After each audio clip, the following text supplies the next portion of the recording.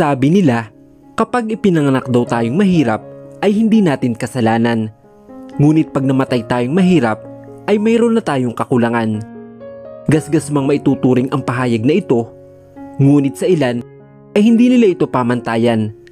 Mga taong pinagkaitan ng karapatan sa ilalim ng mga taong makapangyarihan. Posible kaya magkaroon ng pag-iibigan sa dalawang taong langit lupa ang pag-itan o ito magdadala sa kanila sa tiyak na kapahamakan. Paano ka makakatakas sa isang kasunduan kung buhay mo ang nakasalalay? Magandang araw mga kaibigan. Samahan niyo po akong muli para sa isang kwentong pag-ibig na aking ibabahagi sa inyo na tiyak nakapupulutan ng aral at magpapaantig sa inyong mga puso. Pero kung bago ka pa lamang, ay pakilike po ng ating video. Pakiclick ng subscribe button, gayon din ang bell icon para lagi kang updated sa mga susunod ko pang upload.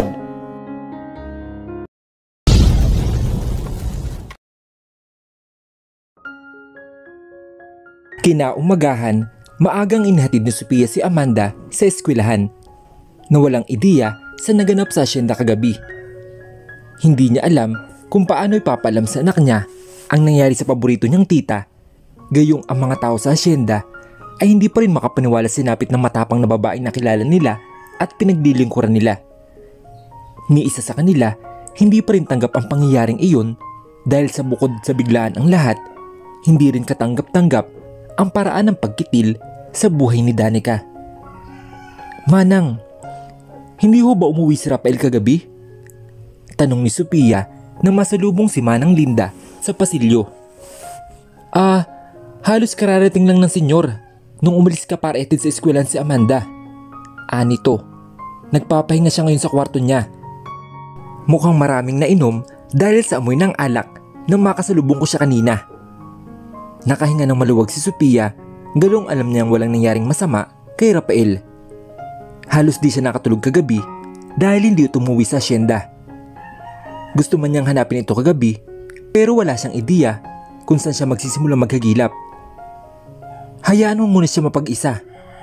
Anima ng Linda dahil sa tagal niyang ninilbihan dito, kabisado niya si Rafael kahit nung maliit pa lamang ito. Dati pa man, hindi siya ganun nagpapakita ng emosyon sa harap ng maraming tao. Maski sa kanyang ina at sa kanyang ama. Hindi siya nagpapakita ng mga mabibigat na emosyon. Palagi lang siya nagtatago at nagkukulong sa kwarto kapag nagtatampo o may mabigat siyang pinagdadaanan. Ayaw niyang ipakita sa iba ang kahinaan niya. Bakit po? Ah, siguro dahil takot siya na mahusgahan. Anito, kung tama ang pagkaalala ko, ang Senyora Danica ay palaging tinatawag ang senyor na mahina. Sakalam pa, noong mga bata pa sila. Ilag kasi ito sa mga tao noong panahong yun, ang tayong kakambal niya lang ang madalas kasama. Ito lang ang kausap nito dahil doon lang siya komportable. Sila lang dalawa ang magkasama noon. Pero habang lumalaki, nagkakaroon na silang distansya.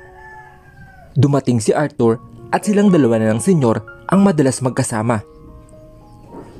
Hindi umimik si Sophia dahil ngayon lang niya maririnig ang kwentong ito patungkol sa pagtatago ng emosyon ni Rafael na palaisipan sa kanya ang dahilan.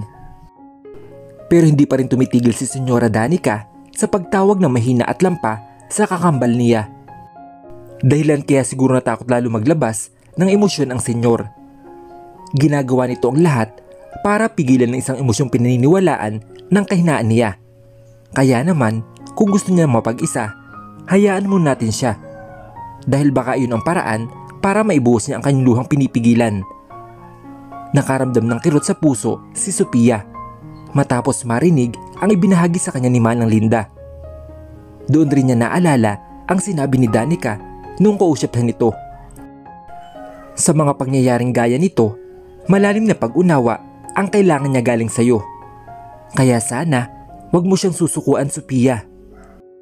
Hindi man sa kanya manggaling, pero kailangan niya ng taong makakaintindi sa sitwasyon niya.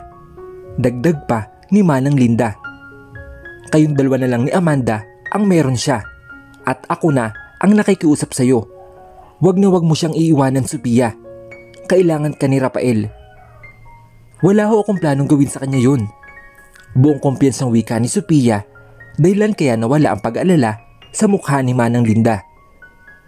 Masaya siyang marinig ang bagay na yun mula sa taong di akalaing mananatili pa rin sa asyenda sa kabila ng lahat na pinagdaan ng hirap nito. Gumaan ang kanyang pakiramdam kahit papaano. Subalit mayroon pa ring bigat sa kanyang kalooban dahil muli nalagasan na naman ng isang pamilyang sobra na malapit sa puso niya.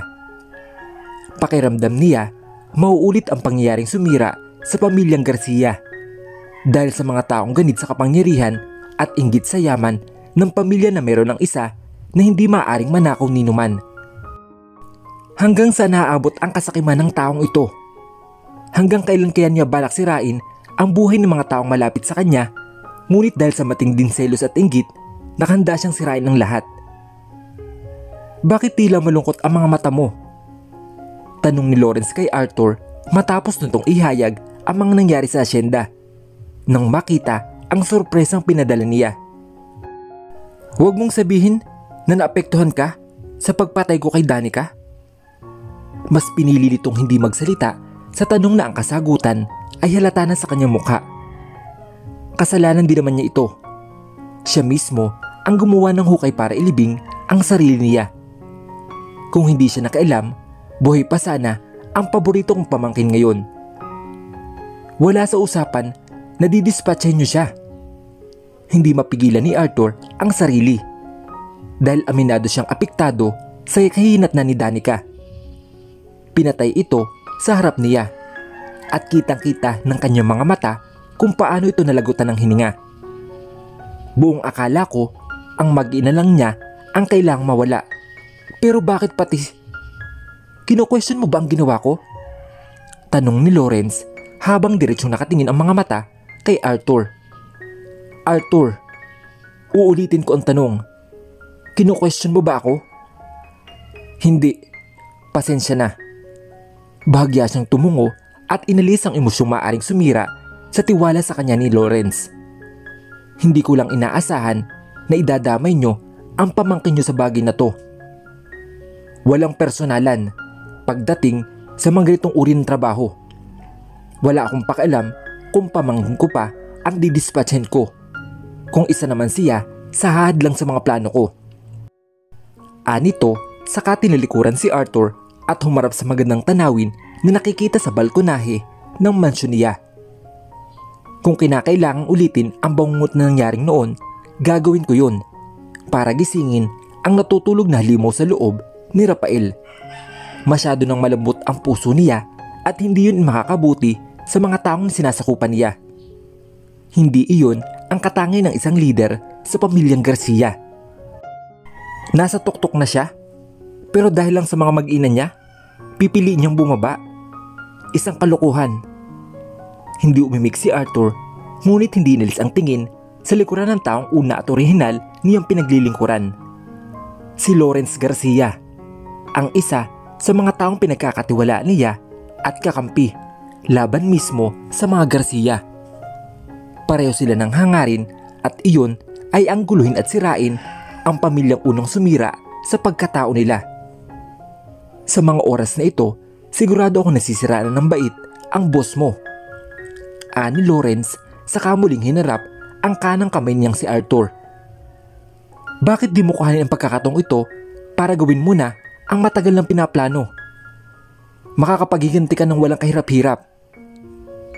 Hindi pa ngayon ang tamang oras. Aniya nang hindi pinuputol ang diretsyong tingin kay Lawrence. Kailangang unti-untiin para mas lalo siyang mahirapan at masiraan ng bait oras na mawala ang lahat ng tao importante sa kanya. Walang problema sa akin kung ano sa tingin mo ang nararapat. Gawin mo ng malinis at walang iiwan ng kalat. Tinapik siya nito sa kaliwang balikat. Ubusin mo kung yun ang nais mo. Huwag mong gayanin ang pagkakamali ko noon na nagpatira pa ng dalawa na problema lang din pala ang dala. Hindi maiwasang hindi matawa ni Lawrence nang maalala kung paano sinimulan ang gulo at alitan sa ordinasyong kanilang kinabibilangan noon. Walang bahit ng pagsisisi sa kanyang mukha. Dahil sa katunayan, itinuturing niyang isang karangalan ang mapatay ang kapatid niyang si Alexander Garcia at ang asawa nito na si Amanda Garcia, ang mga magulang ni Rafael. Nakatakas ang dalawang anak, ngunit sa mga oras na ito, kasama na nila si Danica na ang natitira na lang niyang laruan ay si Rafael na sinisigurado niyang susunod na rin sa kanila. Sigurado ka ba sa desisyon mo? Iiwan mo sa akin si Amanda? Gulat ang gumuhit sa mukha ng ina ni Sophia matapos ihatid sa kanya si Amanda. May dala pa itong mga bag na naglalaman ng damit at ilang gamit ng bata. Ilang araw lang po siya dito. Kukuhanin ko rin siya kapag umokay na ang kaganapan sa asyenda.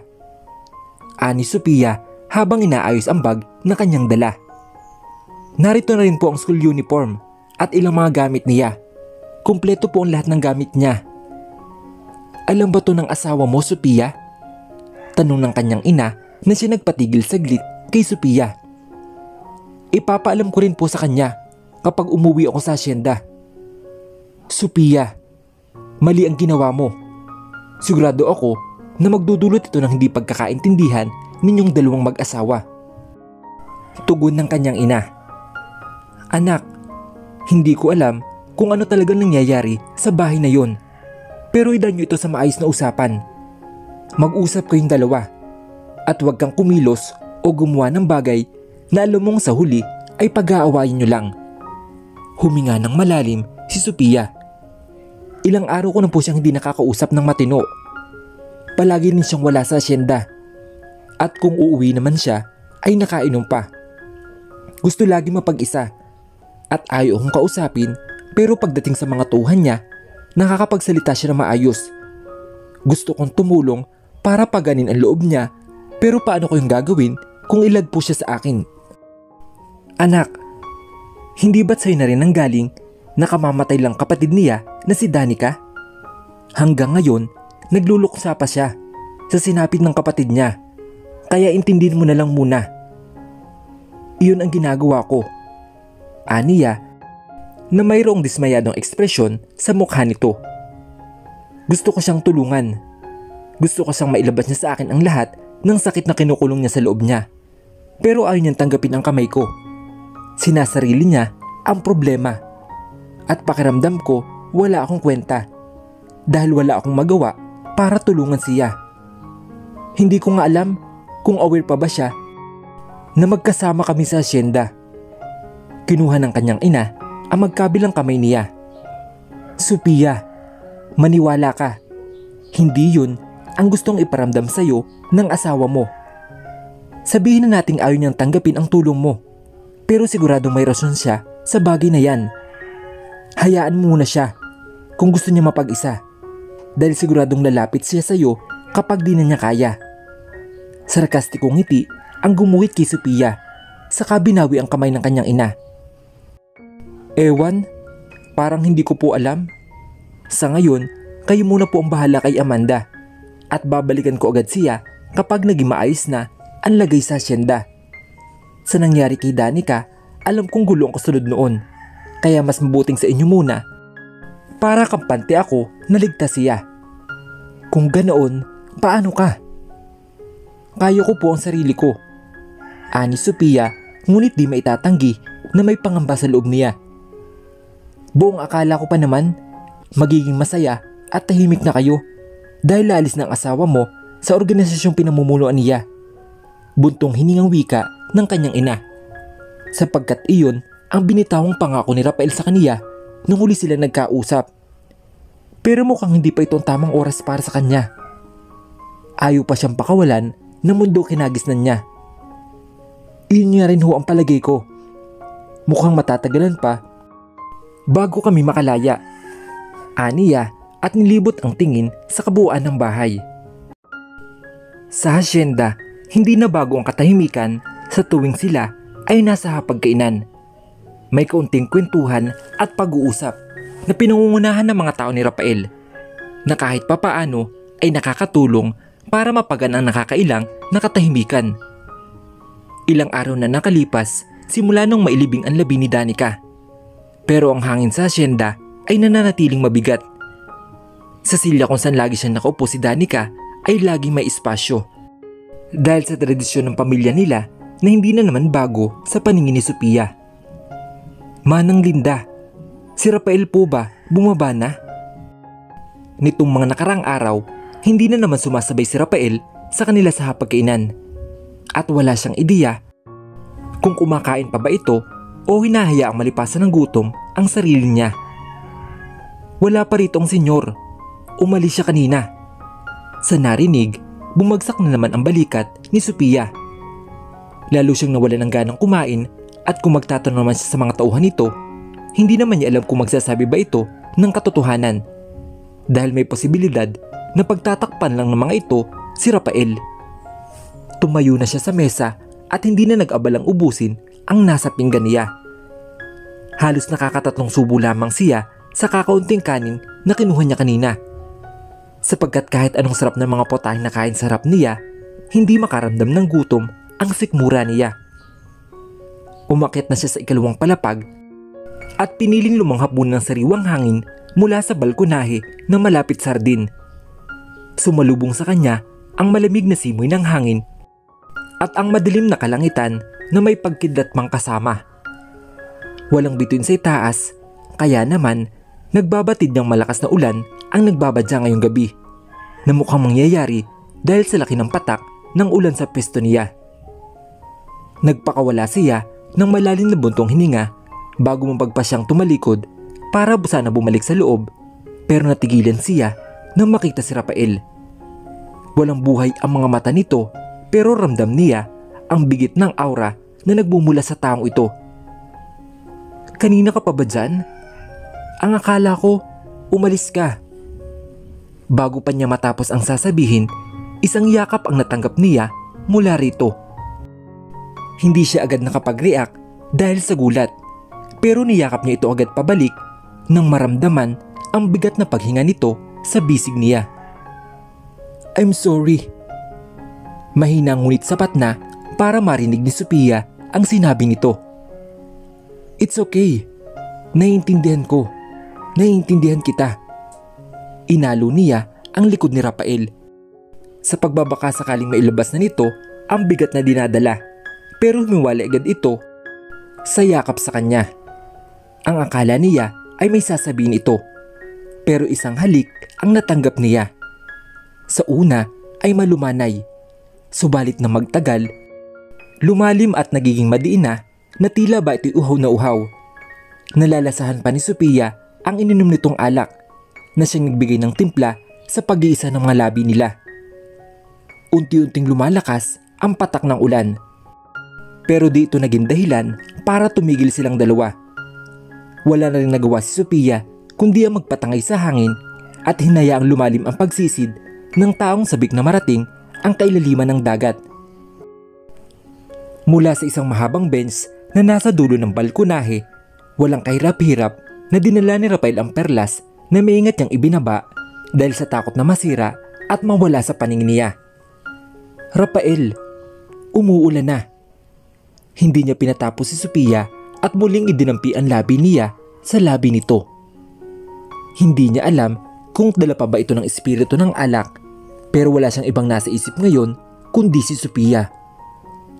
Wala na siyang pakialam sa paligid niya dahil sa pagiging sabik sa babaeng ilang araw niyang iniiwasan ngunit tinatraidor din siya ng sarili niya. Bumuhos na ang malakas na ulan at sinabayan pa ng malabig na hampas ng hangin sa pwesto nila. Pero tila wala yung talab dahil sa mainit na gabi na pinagsasaluhan ng dalawa. Bumaba ang labi ni Rafael sa bandang leeg ni Sophia at hinayaang maglandas ang mga kamay nito sa kanyang bewang at unti-unting natutupok dahil sa init ng apoy mula sa kanila.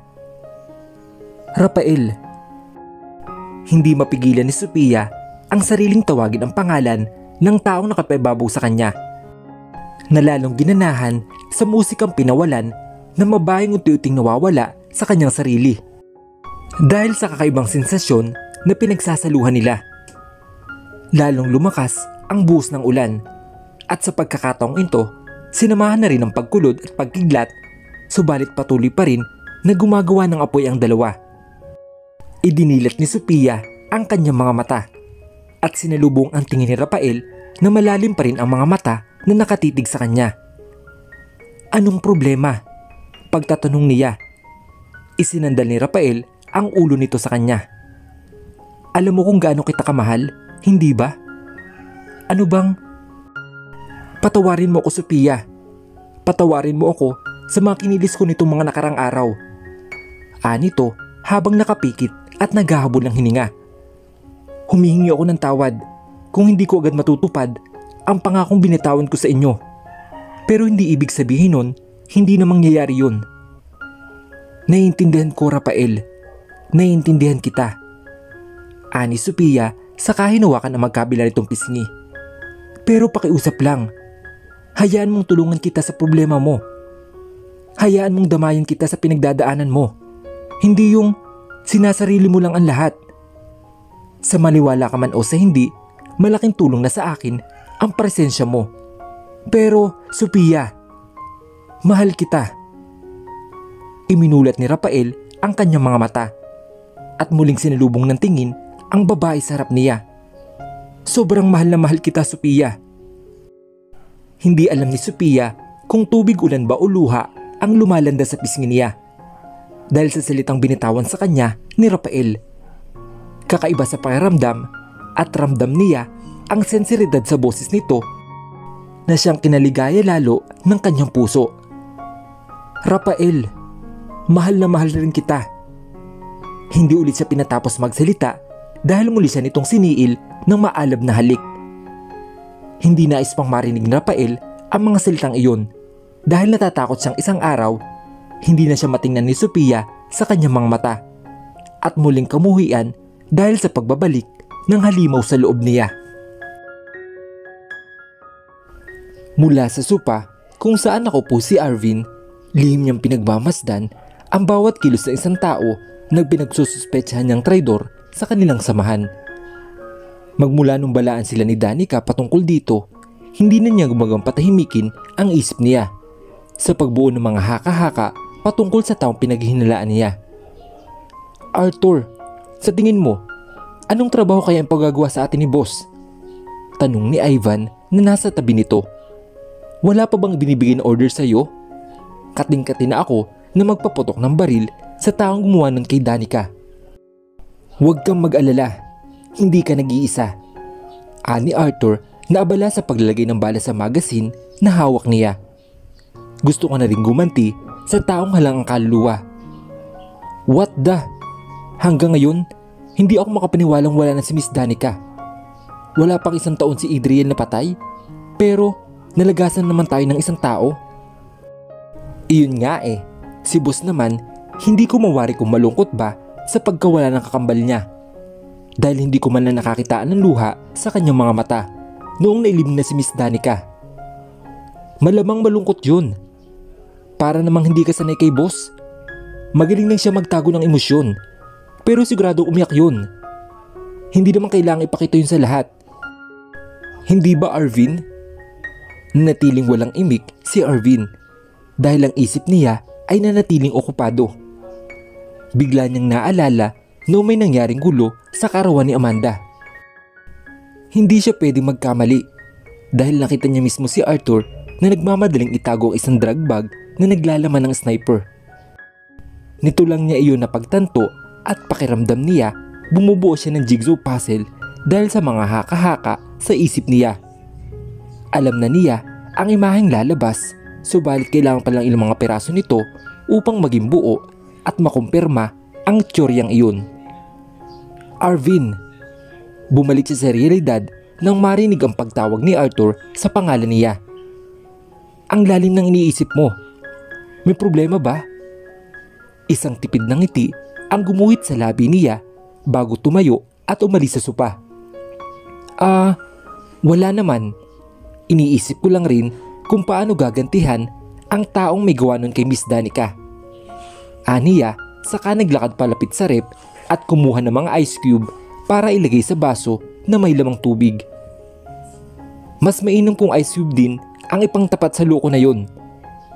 Yung tipong bawat butas sa katawan niya ay dapat pasukan ng mga ice cube hanggang sa mapuno at wala nang espasyong paglalagyan. Ano sa tingin mo Arthur? Ngumisi ito at tumango-tango bilang pagsang-ayon sa suwestyon. Maganda nga ang idea mo Arvin, hindi rin makatao. Walang tao-tao sa ganitong trabaho. Aniya, saka ininom ang tubig na hawak niya. Sabi nga sa isang kasabihan, kung ano ang ginawa sa kapwa mo, siguradong babalik sa iyo. Hindi ba tama naman ako? Oo, may tama ka, nasira. Ani Ivan na hindi mapigilan ang sariling sumingit sa usapan dahil sa tensyon na namumuo sa pagitan ng dalawa. Nilapitan niya si Arvin at tinapik sa balikat para pakalmahin. Wala siyang ideya kung bakit nagkakaganito si Arvin pero alamin niya yun dahil wari niya ay may hindi tama sa kanila. Nalimpungatan ng isang matandang lalaki dahil sa sunod-sunod ng pagkatok mula sa labas ng pinto ng kanyang bahay. Napatingin sa orasan na nakasabit sa pader at nakita ang alas tres pa lang ng madaling araw kung kaya naman taka siyang binalik ang tingin sa pinto sa sala bago bumangon sa kama. Alas tres pa lang ng madaling araw, may mambubulabog na. Aniya habang naglalakad palapit sa may pintuan.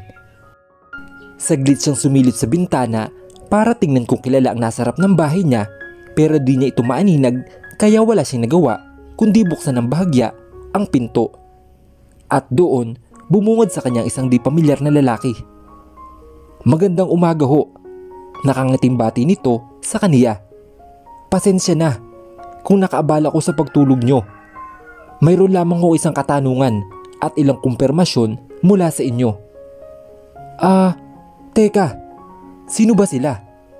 Nagtatakang tanong ng matanda habang pinagmamasan ang kabuuan ng lalaking nasa harapan niya. Formal ang pananamit nito kaya di niya mawari kung mabuti o masama ang estranghirong bumubulabog sa malalim niyang pagkakatulog. Iho, wala ka bang orasan sa bahay niyo? Alas tres pa lang na madaling araw ah. Bakit di mo alam? Masyado pang maaga para mambulabog ka. Limang minuto lang tanda. Hindi mo ba ako mapagbibigyan? Inilabas nito ang baril na nagpatahimik sa matanda. Sinubukan itong isara ang pinto pero huli na dahil tuloy na nakapasok ang estranghero sa loob ng bahay niya. Ano bang kailangan mo? Nanginginig na pagtatanong nito habang umaatras palayo sa armadong lalaki na nasa harap niya. Kung pera ang gusto mo, wala akong maibibigay sa iyo iho dahil wala akong pera. Hindi pera ang kailangan ko. Limang minuto. Anito Saka inilabas ang isang litrato at iniharap sa kanya. Siguro naman naalala mo ang babaeng ito.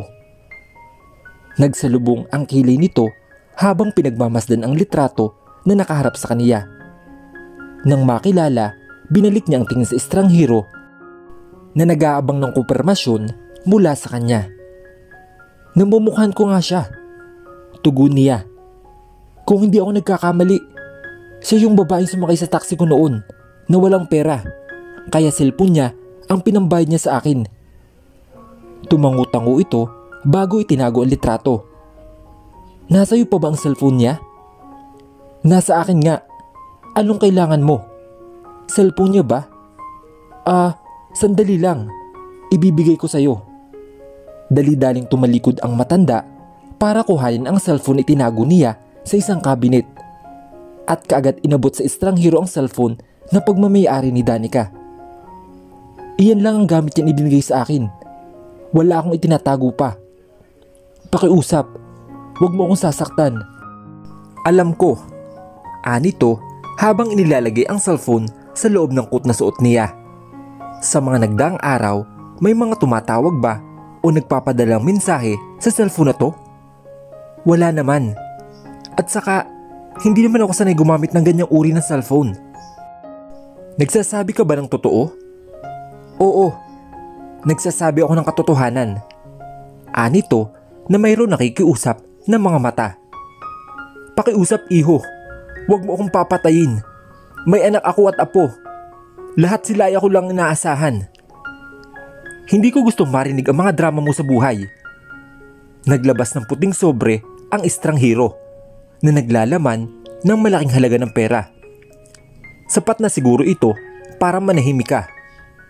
Kung sakaling mayroong magtatanong sa iyo patungkol dito, ay wala kang alam. Wala kang sasabihin na kahit na anong detalye o impormasyon na may kinalaman sa pinag-usapan natin ngayon. Dahil oras na magkamali ka, damay buong pamilya mo. Hindi nakapagsalita ang matanda, kaya inilapag na lamang ng lalaki ang sobre sa mesang nasa gilid nila. Bago itago ang balit sa likod ng pantalon niya. Makakaasa ba ako sa iyo? Paninigurado niya bago inilibot ang tingin sa kabuuan ng sala at nang mapadaan sa isang litratong nakasabit sa bader, ngisi ang gumuhit sa labi niya. Mukhang marami kang apo. Maliit pa ang karamihan sa kanila. Oo, oo. Hindi ako magsasalita. Wala akong kahit anong sasabihin sa kahit sino magtatanong sa akin. Pakiusap. Huwag mong idadamay dito ang mga anak at apo ko. Madali akong kausap. Kung marunong kayong tumupad sa usapan, nakasisiguro ko na ligtas ang mga mahal niyo sa buhay. Sumaludo pa ito sa matanda bago tumalikod at naglakad palabas ng bahay. Samantala, mula sa isang nakaparadang sasakyan, nakita ni Arvin at Ivan ang paglabas ni Arthur mula sa isang bahay na halos ilang minuto ang itinagal. Nagpalinga-linga pa ito sa paligid bago mapagpasyang pumasok sa dalang sasakyan at pinaharurot ito paalis. Ano naman kayang ginagawa ni Arthur sa bahay na yun? Kakang tanong ni Ivan sa kanilungon si Arvin na binuhay ang makina ng kotse. Ano pre? Susundan pa ba natin? Sa halip na sumagot, pinaandar na lamang ni Arvin ang sakyan paalis. At sa mga sandaling ito, pakiramdam niya ay malapit na niyang mapatunayan ang mga hinala niya laban kay Arthur na traitor na tinutukoy noon ni Danica. Unti-unting iminulat ni Sophia ang kanyang mga mata nang magising dahil sa sinag ng araw sa bintana at tumatama sa kanyang mukha. Pero sa na gumalaw, nanatili siya sa pwesto niya habang nakatitig sa mukha ng lalaking nakayakap sa kanya. Wari niya'y malalim pa ang tulog nito dahil di alintana ang sikat ng araw na tumatama sa mukha ni Rafael na naging dahilan kung bakit nagising siya. Itinaas niya ang kamay para sa nasubukang harangan ang sikat ng araw sa gawin nila. Pero lalong humigpit ang yakap ni Rafael sa kaniya. Halos bumuon ang mukha niya sa dibdib nito. Kaya rinig na rinig niya ang lakas na pintig ng puso ni Rafael. Good morning.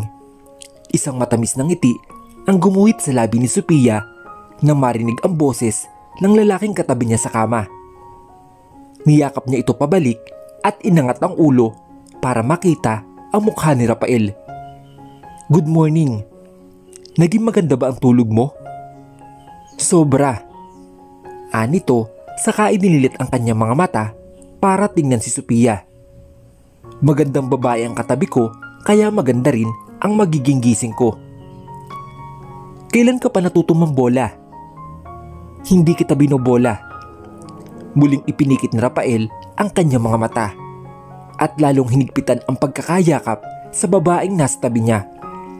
Salamat at hindi mo ko iniwanan.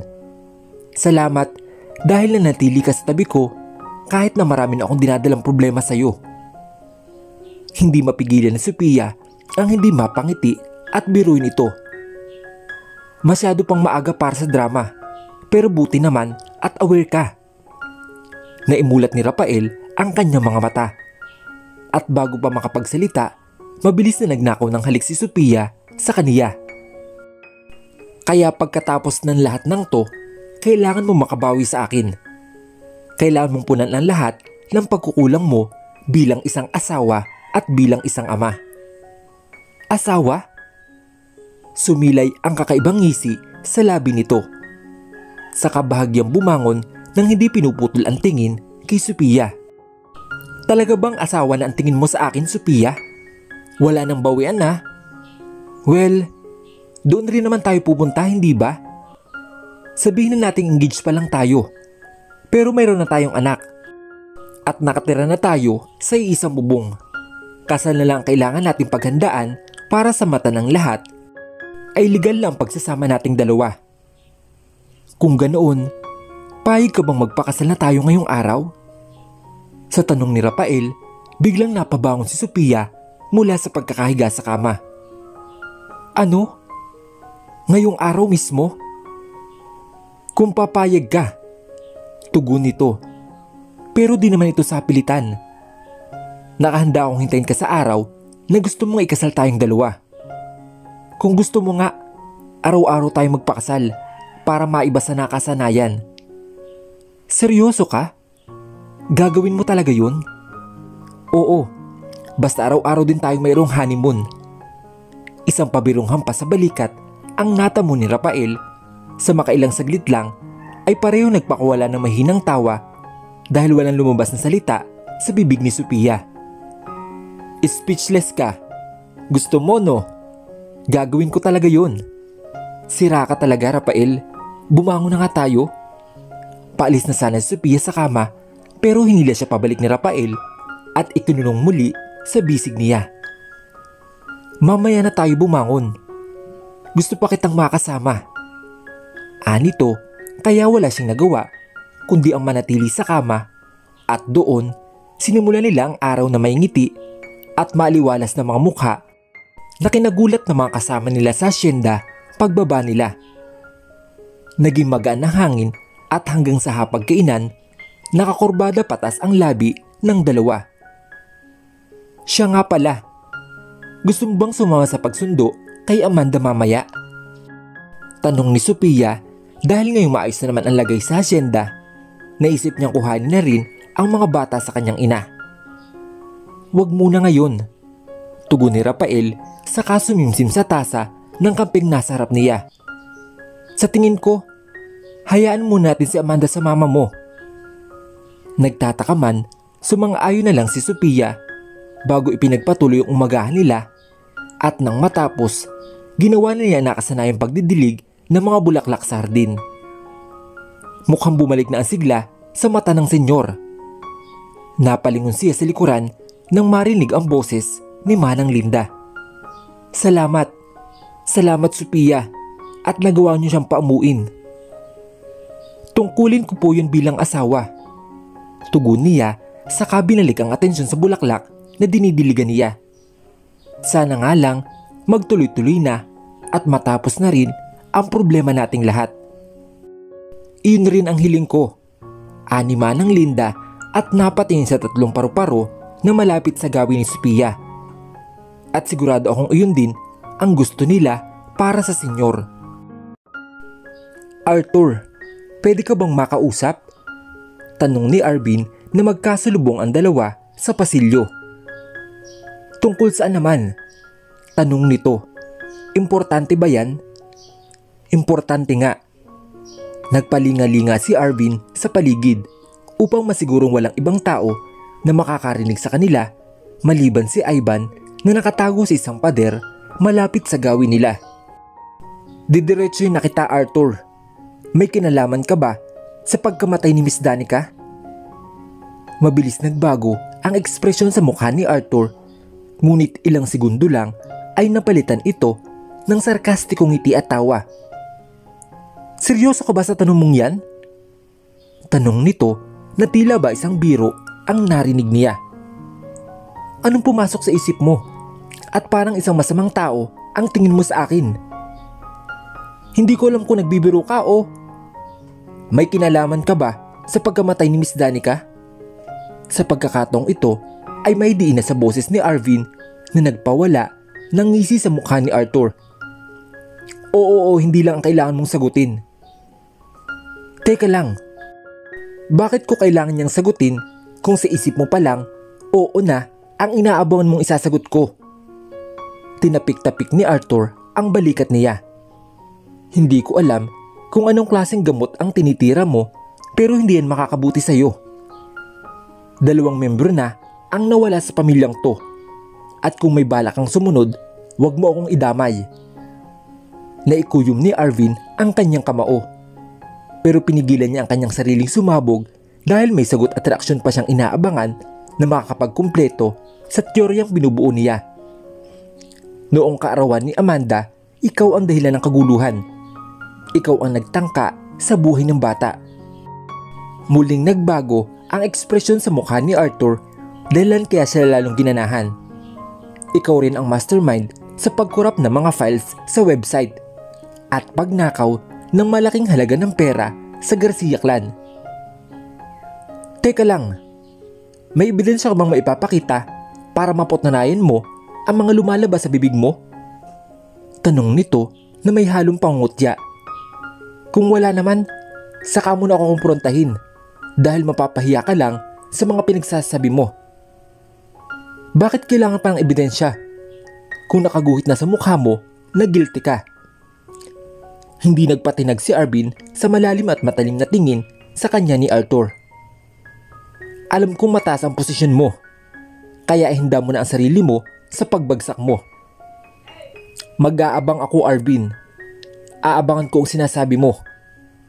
Anito, bago siya tinalikuran na tila ba hindi apektado sa pagbabanta ni Arvin sa kanya. What the? Ako ang kinakaban sa iyo Arvin. Lumabas naman si Ivan sa pinagtataguan niya. Saka siya tinipik sa balikat. Hindi kaya nagkakamali ka lang sa pag-akusa kay Arthur? Imposibleng siya ang traidor na sinasabi noon ni Miss Danica. Dahil bata pa lang, sila na magkakasama, hindi ba? Parang napaka-imposible ng mga kwento mo, Arvin. Oo, hindi lang naman ang sagot sa mga tanong ko. Pero ni isa sa mga yun, puro rason na ang sinasagot niya. Ani Arvin sa kanilingon si Ivan. Ngayon alam mo na, kapag nalagasan naman tayo ng isang miyembro, ay ako na yun. Sira ulo ka. Anong pinagsasabi mo? Bakit di mo lang ilapit to kay bossing para hindi lang tayong dalawa ang namumroblema? Darating din tayo sa puntong yan. Dahil sa ngayon, ebidensya na lang ang kailangan para mapatunayan na si Arthur ang traidor sa samahan natin. Aniya, dahil sa mga oras na ito, nakumpirma na niya ang hinalaan niya. At kailangan na lang niya ng magpapatibay dito para siguradong wala ng kawala si Arthur. Ang taong higit na pinagkakatiwalaan ng kanilang boss na siya palang tatraydor sa kanila. Hindi malinaw ang dahilan kung kaya't ito rin ang aalamin niya. Ibinaba ni Rafael ang isang bukay ng bulaklak sa harap ng libingan ni Danica. Habang sinisindahan naman ni Sophia ang mga kandilang dala nila. Hi Danica, pasensya na kung ngayon lang ulit kami nakadalaw sa iyo ng kakambal mo. Sana huwag kang magtampo. Ani Sophia matapos masindihan ang mga kandila. Nilingon niya pa ang katabing puntod kung saan nakalibing ang ina at ama ni Rafael. Ganon rin po sa inyo. Pasensya na kung ngayon lang nasundan ang pagdalaw namin sa inyo. Dahil sobrang daming nangyayari sa asyenda na sana po ay matapos na. Nilingon ni Sophia ang kanyang katabi na hindi nagsasalita at tila malalim ang iniisip habang nakatingin sa puntod ni Danica. Hinawakan niya ang kamay ni Rafael. Gusto mo bang bigyan ko muna kayo ng privacy? Doon muna ako sa kotse, Rafael. No, dito ka lang. Hinigpitan nito ang kapit sa kamay niya. Hindi ko lang alam ang sasabihin ko sa harapan nila. Nabablangko ako, Sophia. Kung ganoon, ako ang magsasalita para sa iyo. Aniya, saka muling hinarap ang tatlong lapida sa harapan nila. Pakiusap, tulungan niyo po kami sa suliraning kinakaharap namin ngayon. Kailangan po namin ng tulong at gabay ninyo para matapos na ang lahat ng to. Sa kanilang pananatili sa kolumbaryo, hindi alam ni Sophia kung nakatulong ba kay Rafael ang pagtatagal nila dito. Dahil napapansin niya ang pagiging tahimik nito mula pa kanina. Wari niya malalim ang iniisip nito kaya din niya napigilan ang sarili na magtanong. Sa pagbabaka sakaling sa puntong ito, makakatulong na siya na mapagan ang loob ng kanyang asawa. Iisang tao lang ang kumitil sa buhay nilang tatlo. Seryosong wika ni Rafael habang hindi naalis ang tingin sa mga lapidang nasa harapan nila. At sa totoo lang, hindi ko alam ang sunod na gagawin ko. Anong ibig mong sabihin? May halong pag-aalang tanong ni Sophia, ngunit hindi siya nakakuha ng sagot mula kay Rafael. Hirap siyang alamin kung anong tumatakbo sa isip nito at mukhang wala rin itong balak sabihin sa kanyang totoo. Hindi na siya nagtakang magtanong pa at pinulupot na lamang niya ang kamay sa braso ni Rafael saka isinandal ang ulo sa balikat nito. Hindi ka nag-iisa Rafael. Kung kailangan mo ng tulong ko, ay nandito lang ako sa tabi mo. Nanatili itong walang kibo, ngunit maraming tumatakbo sa isip na hindi magawang sabihin sa babaeng kasama niya. Takot siyang mahusgahan at takot rin siyang maiwan. Ngunit mas takot siyang mangyari ulit ang bangungot ng nakaraan. Batid siyang nasa peligro pa ang buhay ng kanyang mag-ina laban sa taong malapit na niyang makilala. Mayroon siyang mata para makita ang katotohanan. Tainga para marinig ang tunay at kasinungalingan. At isip para matukoy kung sino ang tunay na kakampi at tunay na kalaban. Isang malutong na mura ang pinawala ni Arvin nang walang maabutang tao sa bahay kung saan pumunta noon si Arthur. Walang tao sa loob at wala na rin ang mga gamit na nagpainit sa ulo niya. Walang kahit na anong bakas na iniwan na posibleng makatulong para mahanap ang taong pakay niya. What the? Bilis talaga kumilos. Sinipa niya ang mesang nasa gilid niya dahilan kaya ito bumuhal. Lumabas siya ng bahay na sa lubong ang kilay. At nang may mapada ang isang bata sa harap niya, ay tinawag niya ito. Bata, nasa naman nakatira dito? Ah, wala na po. Umalis na. Anito habang pinupunasan ang madungis niyang mukha. Bakit po tinatanong ninyo? Imbis na sumagot ay naglabas si Arvin ng perang umago sa atensyon nito. Binilang niya ito sa harap ng bata. Saka nag-abot ng isang malaking halaga ng pera. Ah, sa akin na po to? Basta, sasagutin mo mga itatanong ko sa'yo. Ah sige po. Ah nito, na tila sabik sa mga itinatanong ni Arvin sa kaniya. Noong umalis ang mga tao dito, sila lang ba o mayroong sumundo sa kanila? Hindi ko po alam. Bumagsak ang balikat niya sa naging tugon ng bata. Pero sabi po sa akin ni Dedeng, sa malayong malayong lugar na daw po sila titira. Kanina lang po sila umalis. Ah, sino yung si Dedeng? Apo po ni Lolo Tasyo, yung nakatira po dyan. Tinuro ng bata ang bahay na pinasok ni Arvin. May mga masamang tao daw po kasi ang humahanap kay Lolo. Kaya alis na lang sila para di na sila makita. Sinabi ba kung saan? Hindi nga po eh. Basta, malayo daw po dito. Tsaka di daw po namin sila makikita kahit kailan. Wala na tuloy akong kalaro. Mabilis hinablot ng bata ang perang hawak niya. Thank you po kuya. Bye-bye. Wala na nagawa pa si Arvin na magtatakbo ang bata palayo sa kaniya. Lalo lang siyang nanlumo dahil ni isa sa mga narinig ng sagot ay wala ring tulong sa kaniya. Sumakay siya ng sakyan at napagpa siyang hindi na muna umuwi sa asyenda hanggat wala siyang ebidensya na nakukuha laban kay Arthur. Isa itong malaking hamon para sa kaniya dahil ang kalaban ay ang kanang kamay ng boss nila. Matibay na ebidensya ang kailangan niya para wala itong makitang butas na pwede itong lustan. Sa kalagitnaan ng kanyang biyahe, biglang nagrin ang cellphone niya na nasa kanyang bulsa.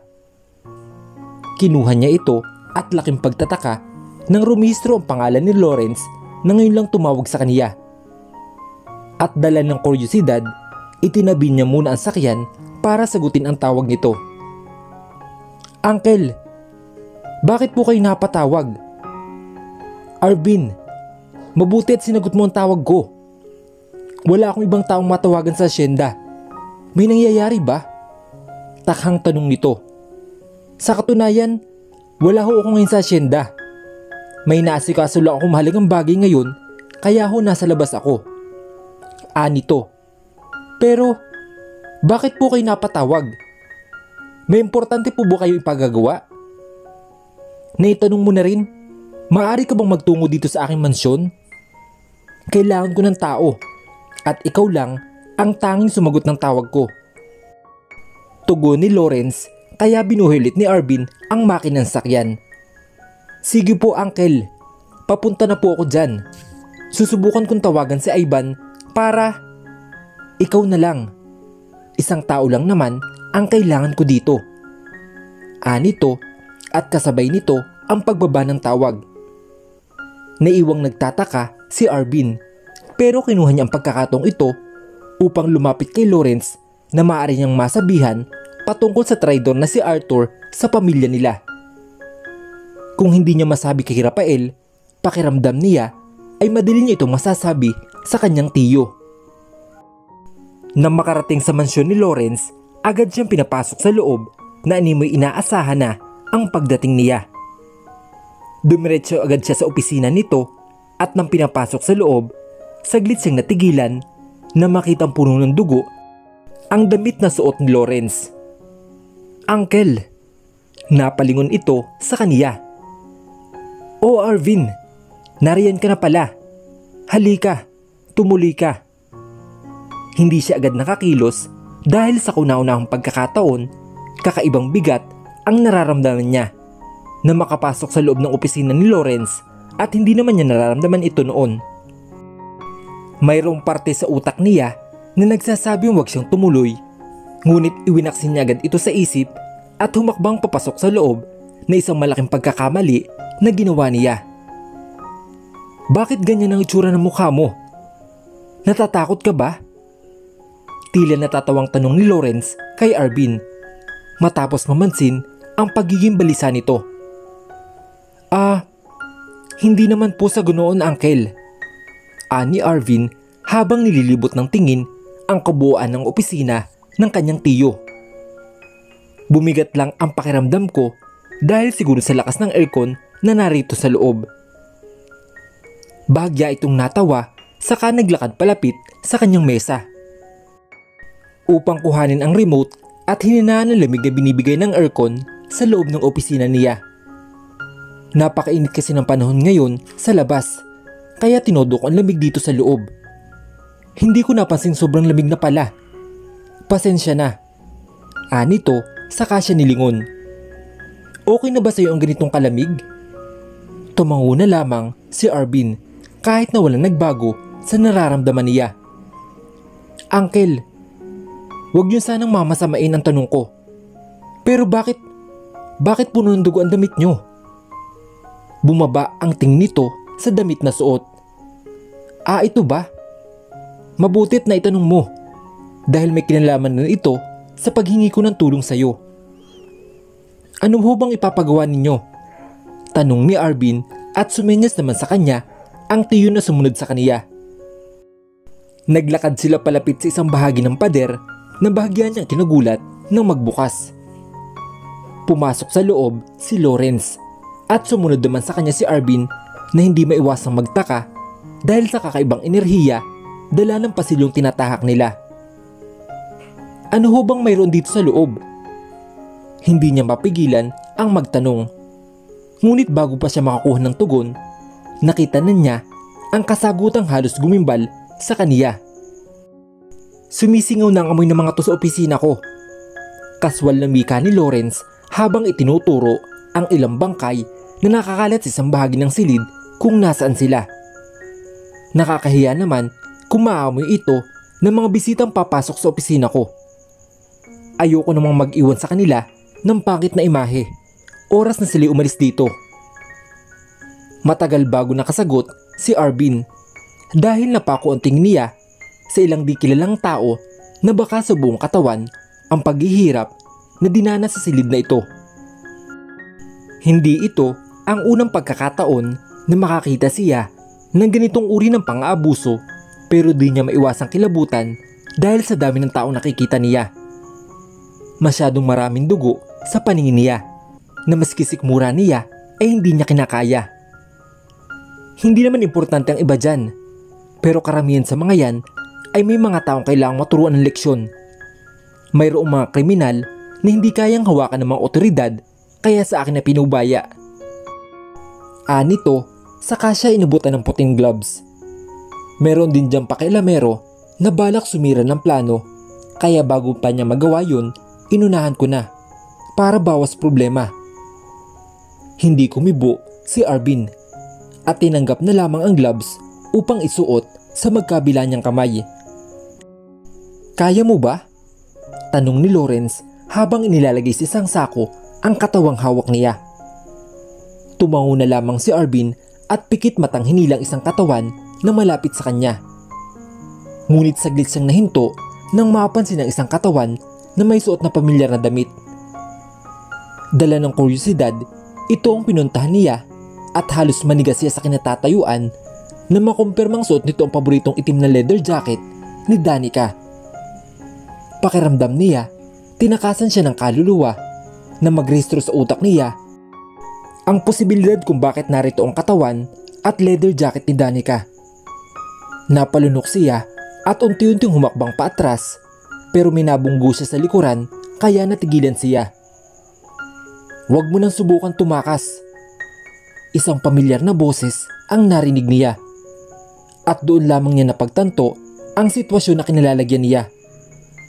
Nahulog siya sa patibong ng mga kalaban. Mabilis niyang kinuha ang baril na nakaipit sa baywang niya saka lumingon sa kanyang likuran. Pero gaya ng inaasahan ay mayroon ng nakatutok na baril sa kanya. Senyor, may bisita kayo. Kapwa napalingon si Sophia at Rafael kay Manang Linda na naglalakad palapit sa kanila. Nasa ibaba ang mga Rivera gusto nila kayong makausap. Gumuhit ang pagtataka sa mukha ni Sophia sa kabinaling ang tingin sa katabi na tila inaasahan na ang pagdating ng mga Rivera dito. Salamat, pero pasensya na. Hindi ko kayang tumanggap ng tulong sa inyo. Sagot ni Rafael na inaasahan ng marinig ni Marwell ngunit di pa rin maiwasang madismaya sa naging tugon sa kaniya. Maaari ko bang malaman ang dahilan? Inalis ni Rafael ang tingin sa kaniya. Walang malalim na dahilan. Kung ganoon, eh bakit? Dahil ayoko. Kaswal nitong sagot bago naglakad palapit sa pintuan. Ayokong tumanggap ng tulong mula sa inyo. Ganun lang kasimple. Hindi ko alam kung anong nagtutulak sa iyo para tanggihin ang aloko. Pero hindi magbabago ang isip ko, Rafael mananatiling bukas ang pinto para sa iyo. Ganon rin ang pintong ito. Binuksan ni Rafael ang pinto ng opisina niya. Naiintindihan ko ang iyong nararamdaman dahil minsan ko na rin napagdaanan. Kakaibang tapang talaga ang nailalabas natin oras na may kumanti sa pamilya natin. Inilahad ni Maruel Rivera ang kanyang kanang kamay upang makapagkamay kay Rafael hanggang sa muli nating pagkikita. Tinanggap niya ito. Hanggang sa muli, Mr. Rivera. Arthur, ikaw ang traidor sa samahan natin? Hindi mapigilan ni Arvin ang magpakawalan sarkastikong tawa sa kanilingon ang tiyo Lawrence na inaalis ang gloves na suot nito. Hindi ako makapaniwala magkasabwat kayo. Hindi rin naman ako makapaniwala na narito ka ngayon ani Arthur na may halong pangungutya ang tingin kay Arvin. Mabilis ka nga mag-isip pero masyado kang mabagal kumilos. Naunahan tuloy kita. Napati imbagam siya at ang mga mata ay tila nagliliyab dahil sa pagkasakim na nararamdaman sa taong higit nilang pinagkakatiwalaan. Kayo ang pumatay kay Miss Danica? Nilingon niya saglit si Lawrence. Uncle, Pinatay niyo ang pamangkin niyo? Sarili niyong pamangkin? Nagawa niyong patayin? Anong klase ka? Kagaya na nakikita mo. Anito, saka naglakad palapit sa katawan ni Danica. Hindi naman mangyayari to sa kanya kung di siya nangialam. Makialam saan? Hindi nito mapigilan ang magtaas ng boses. Habang papalit-palit ng tingin kay Arthur at Lawrence. Hindi ko alam kung anong iriri ako. Ano bang binabalak nyo, Uncle? Para saan ang sabuatan yung ginawa ninyo? Para sa susunod na henerasyon. Tugo ni Lawrence. Interesado ka ba? Kung oo, walang problema sa akin. Hindi hindi ako magiging interesado sa kalokohang ito. Matigas nitong sambit na kinatawa ni Lawrence. Huminahon ka. Hindi mo kailangang sumigaw. Naglakad ito palapit kay Arvin at tinangkang hawakan ang muso ng baril pero ibinaba nito sa di sinasadyang makalabit ni Arvin ang gatilyo. Dahilan kaya pumutok ito. Binalot ng katahimikan ang buong silid at pagpatak ng dugo sa sahig ang tanging naririnig nila galing sa kaliwang kamay ni Lawrence kung saan tumagos ang bala. Wala itong kahit anong reaksyon habang ang mga mata ay diretsyo nakatingin kay Arvin. Hindi ka marunong humawak ng baril. Anito, saka binaling ang tingin sa kamay na di niya maramdaman. Pero hindi na rin masama ang pagkakapunterya mo. Saglit na nablangko ang isip ni Arvin. Pero kusa ng kumilos ang mga paa niya para sana tumakas. Pero nawalan siya ng kakayang maglakad nang sunod-sunod patamaan ni Arthur ang pareho niyang binti dahilan para siya lumagapak sa sahig. Isang impit na sigaw ang pinawalan niya. At makailang beses na minunra ni Arthur na di niya makakitaan ng kahit anong reaksyon habang naglalakad palapit sa gawi niya. Ang baril na nabitawan ay sinipa palayo ni Arthur at dahil wala siyang ibang armas na pwedeng gamitin para may pagtanggol ang kanyang sarili, pagtitiis na lamang ang nagawa niya. Huwag kang mag-alala hindi ka pa mamamatay ngayon. Mapapakinabangan ka pa. Inapakan nito ang binti niya kung saan siya tinamaan ng bala. Palahon na ang kumuwala sa kaniya dahil sa grabing sakit na naramdaman niya. Kailangan mong pumili dahil buhay mo ang nakasalalay dito. Ani Arthur na lalong dinan ang pagkakaapak sa binti ni Arvin. Kung gusto mo pang mabuhay, kailangan mong sindin ang ipapagawa sa iyo. Pero kung di mo na mahal ang buhay mo, sabihin mo lang at ipuputok agad ito sa ulo mo. Pati ba naman ako? Papatayin mo?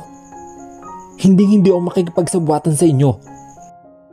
Tumingin si Arthur kay Lawrence na suminyas na lamang sa kaniya na gawin kung anong nais niya. Wala kang kwenta. Matapos kupkupin at patirahin ka sa asyenda, iyan lang ang gaganti mo sa mga Garcia. Hirap pang magsalita, hindi mapigilan ni Arvin ang maglabas ng salubin. Isa kang malaking traidor. Magkita na lang tayo sa impyerno dahil di ka rin magtatagal dito. Patayin niyo man ako ngayon para patahimikin. May isa pang tao nakakaalam sa sikreto ninyo. Nagsalubong ang kilay ni Arthur na kinangisi naman ni Arvin. Pakiramdam niya ay nasa kanyang huling halakhak Maraang isinara ni Sophia ang pinto ng kwarto niya kung saan niya iniwang natutulog si Amanda matapos makauwi sa asyenda. Tumingin siya sa suot na rilo at alas 12 na pala ng hating gabi. Hindi niya namalayan ng oras dahil nakaidlip din siya sa katabi ni Amanda. Kumusta ang tulog ni Amanda? Napatingin siya sa gilid niya nang marinig ang boses ni Rafael. Nakasuot na ito ng pantulog pero mukhang hindi pa dinadalaw ng antok dahil sa hawak na tasa na mayroong mainit na tsokolate. Maaga siyang nakatulog, baka sa sobrang pagod. Lumapit sa kanya si Rafael at hinawakan siya sa kanyang kamay. Wala itong sinabi sa kanya at marahan lamang siyang hinila pababa ng hagdanan. Nagtungo sila sa hardin at niyaya siya nitong pumasok sa pahingahan. Sandali lang, Anito, saka ibinaba ang hawak na tasa sa mesa at naunang maupo sa isang duyan. Tinapik nito ang espasyo sa pagitan ng hita niya. Maupo ka na. Hindi maiwasang hindi mapangiti ni Sophia. Naupo na lamang siya kagaya ng sinabi nito sa kaniya. Niyakap siya nito mula sa likod. At isinandal naman niya ang kanyang ulo sa dibdib ni Rafael. Ano nga pala nangyari sa pag-usap ninyo ng mga Rivera? May naging problema ba? Tanong niya at bagyang tinulak ang lupang inaapakan nila para gumawa ng konting ugoy sa duyang inuupuan nila. Wala tayong problema sa mga Rivera. Huwag kang mag-alala. Tipid nitong tugon, saka isinubsob ang mukha sa leeg ni Sophia. Anong pabangong gamit mo? Nagsalubong ang kilay niya. Ang random ng tanong mo. Bakit? Hindi ba mabango? Sa halip na makakuha ng sagot, naramdaman na lang ni Sophia ang labi nito na tila sinisipsip ang bahagi ng leeg niya. Napalabi siya at pasimpleng tinakpan ang bibig dahil sa posibilidad na kumawala ang isang ingay. Huwag mong takpan. Gusto kong marinig Sophia. Hinawakan ni Rafael ang kaliwang kamay na nakatakip sa bibig ni Sophia. Saka lumipat sa kabilang bahagi ng liig nito upang mag-iwan ng panibagong marka. Rafael, nasa labas tayo.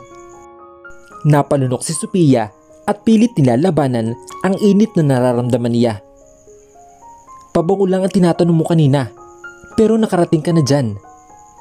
Nagpakawala ito ng mahinang tawa bago inilayo ang mukha sa liig niya. Nakakawala sa sarili ang amoy ng pabangong ginamit mo. Huwag mong gagamitin kapag lalabas ka. Sorry ka, pero wala akong ginagamit na pabango. Natural scent yan, Rafael. Nakangiting tugon ni Sophia.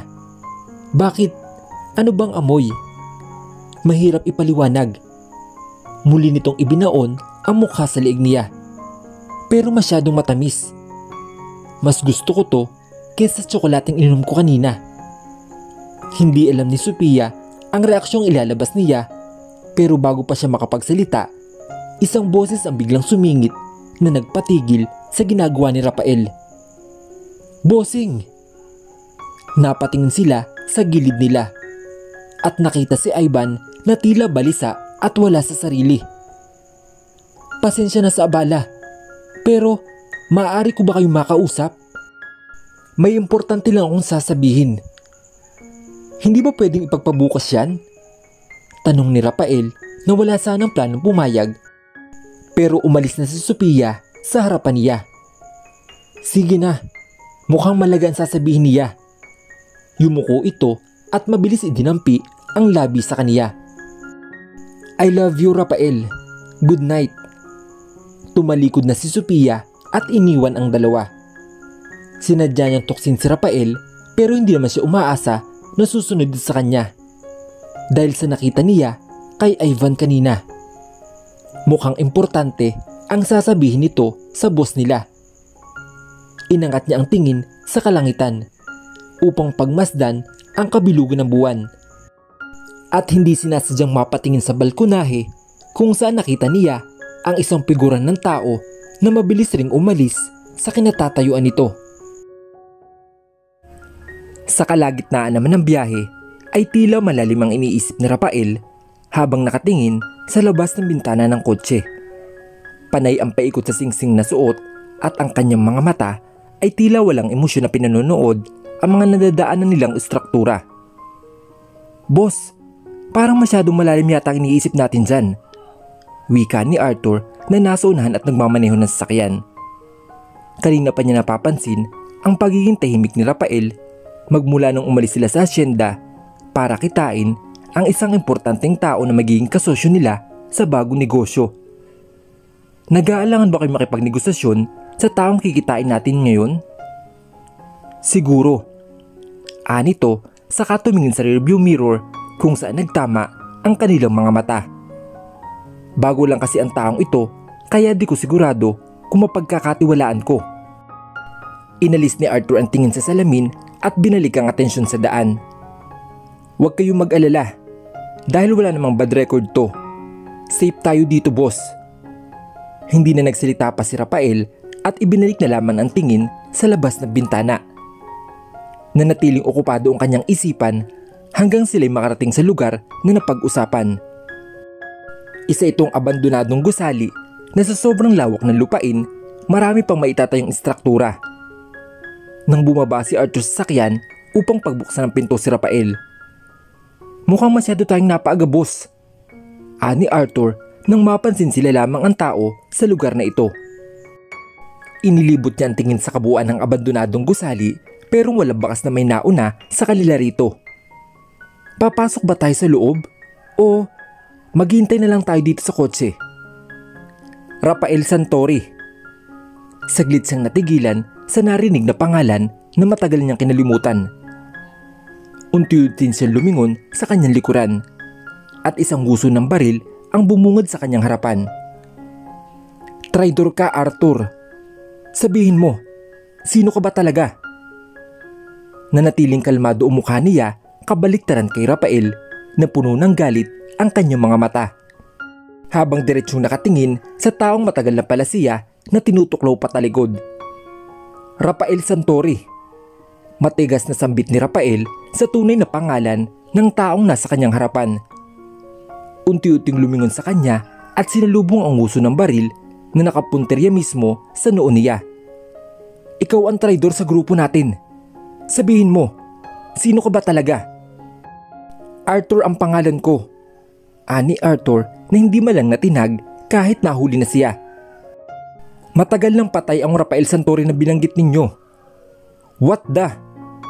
Diniin lalo ni Rafael ang kanyang hawak na baril sa noo ni Arthur. Hindi ako makapaniwala na gawa mo akong traidorin. Arthur, or kung sino ka man. Nagtiwala ako sa iyo buong buhay ko. Pero ito, ito ang gaganti mo. Gumuhit ang isang mapanuyong ngiti sa labi ni Arthur. Hindi ko nakasalanan ang bagay na yan dahil hindi naman ako nagtiwala sa iyo. Ako ang pinagkatiwalaan mo. Lalong lumitaw ang galit sa mukha ni Rafael at maras na higit ang kwelyo nito. Magtapat ka. Sino ang pinaglilingkuran mo? Mayroon ba? Inosenteng tanong pabalik ni Arthur. Hindi ba trabaho mong alamin yon? Huwag mo na akong paikot-ikutin Arthur. Sabihin mo kung sino ang pinaglilingkuran mo. Huminga siya ng malalim at gamit ang baril ay idinuro-duro ang bawat parte ng mukha ni Arthur. Sabihin mo na hanggat nakakapagtimpi pa ako. Tawagin mo na akong mangmang, stupido, inutil at kahit na ano pang masakit na salita yan, wala na akong pakialam. Gusto kong malaman kung sino ang nag-utos sa'yo kaya sagutin mo ang tanong ko. Bakit di ko umalam? Pati ba naman ito, iaasa mo sa akin? Sa sinabi ni Arthur, pinaputokan ni Rafael ang kanyang binti nito dahilan kaya kumawala ang isang impit na sigaw. Gusto ko ng matinong sagot. Pero kung hirap kang sagutin yun, sige, palitan natin. Mahinahan ngunit pagtiim ng bagang ni Rafael. Nandun pa rin ang puot na kanyang nararamdaman, ngunit kanyang pinipigilan. Ang noon dahilan at nangas kang kalabanin ako. Hindi naman ikaw ang kalaban ko. Hirap man, ngunit sinusubukan pa rin niyang magsalita si Alexander, ang ama mo. Nagsalubong ang kilay niya dahil ito ang naasahan na isasagot sa kaniya. Nagulat ka ba? Sa bagay, hindi na ako dapat magtaka dahil wala ka namang alam sa nangyayari sa paligid mo noon pa. Hinihingal na wika nito. Oo, tama ka nang nadinig. Sa Alexander nga, ang dahilan kung bakit ako pumasok sa pamilya mo. Ang ama mong hayop ang rason kung bakit ako narito sa harap mo. Nagsimulang magdilim ang paning ni Rafael at tila ayaw pang iproseso ang posibilidad o katotohanan na naririnig niya. Ang ama mo ang unang sumira sa buhay ko kaya sisirain ko rin ang inyo. Tumahimik ka. Si Alexander ang nagpasok sa akin dito sa pamilya nyo. Kaya ang ama mo ang sisihin mo kung bakit nangyayari ang lahat ng to sa'yo. Muling sumilay ang ngisi sa kaniya. Tandaan mo, ang kasalanan ng magulang ay isa rin kasalanan ng anak. Kung ano ang ginawa ng ama mo sa ama ko, gagawin ko rin sa iyo, pero uunahin ko muna ang mag-iina mo para patas ang laban. Unti-unting umatras si Rafael palayo kay Arthur. At sa mga sandaling ito, tuluyan na siyang nilamon ng buo ng galit niya. Inangat niya ang baril at pinuntirya sa pwesto si Arthur. Wala sa sariling kinalabit ng sunod-sunod ang gatilyo hanggang sa maubos ang bala ng baril. Gumawa ng ingay ang babasiging basong nabitawan ni Amanda dahilan para magkalat ang mga bubog sa lapag. Amanda! Mabilis umalis si Sophia sa mesa upang punta ng anak niya. Okay ka lang ba anak? Nasaktan ka ba? Sorry po mama. Napatungo ang anak habang pinagbamasdan ligpitin ang mga bubog sa sahig. Hindi ko po sinasadya. Huwag po kayong magalit mama. Hindi, hindi ako galit anak. Nagulat lang ang mama. Ani Sophia nang mapagtatong napalakas ang pagtawag niya sa anak niya. Sige na, ipagpatuloy mo ng pagkain mo. Gusto mo bang subuan na lang kita? Ah, hindi po mama. Gusto ko pong kumain mag-isa. Tugon nito habang pinagmamasdan ang pagligpit sa nabasag na baso. Tumango na lamang si Sophia bago mabalik sa silya at ipinagpatuloy ang hapunang pinagsasaluhan nilang mag-anak. Mahaba at malaki ang mesa pero hindi to kagaya noon na palagi silang puno. Ngayon kasi halos bilang na lamang sa daliri ang mga kasama nila na maghapunan. Maraming espasyo ang mga upuan sa mesa at kabilang na roon ang pwesto ni Rafael na hanggang ngayon ay hindi pa dumadating. Umaga nang umalis ito at sumapit na ang gabi pero hindi pa nito umuwi sa asyenda. Natapos ang hapunan pero wala pa rin si Rafael. Hindi niya maiwasang mag-alala kahit na hindi naman ito bago sa kanya. Mama, pwede niyo po kami basahan ito? Lumapit ang anak niya dala ang isang libro na naglalaman ng kwentong pambata. Hindi ba't alam mo na anak ang istorya na yan? Ani Sophia sa kakinuha ang librong inabot sa kanya. Opo, pero gusto ko po po ng isa pa. Hinuwakan siya ni Amanda sa kanyang kamay at saka hinila patungo sa kama nila. Mama, kailan po ulit kayo matutulog dito?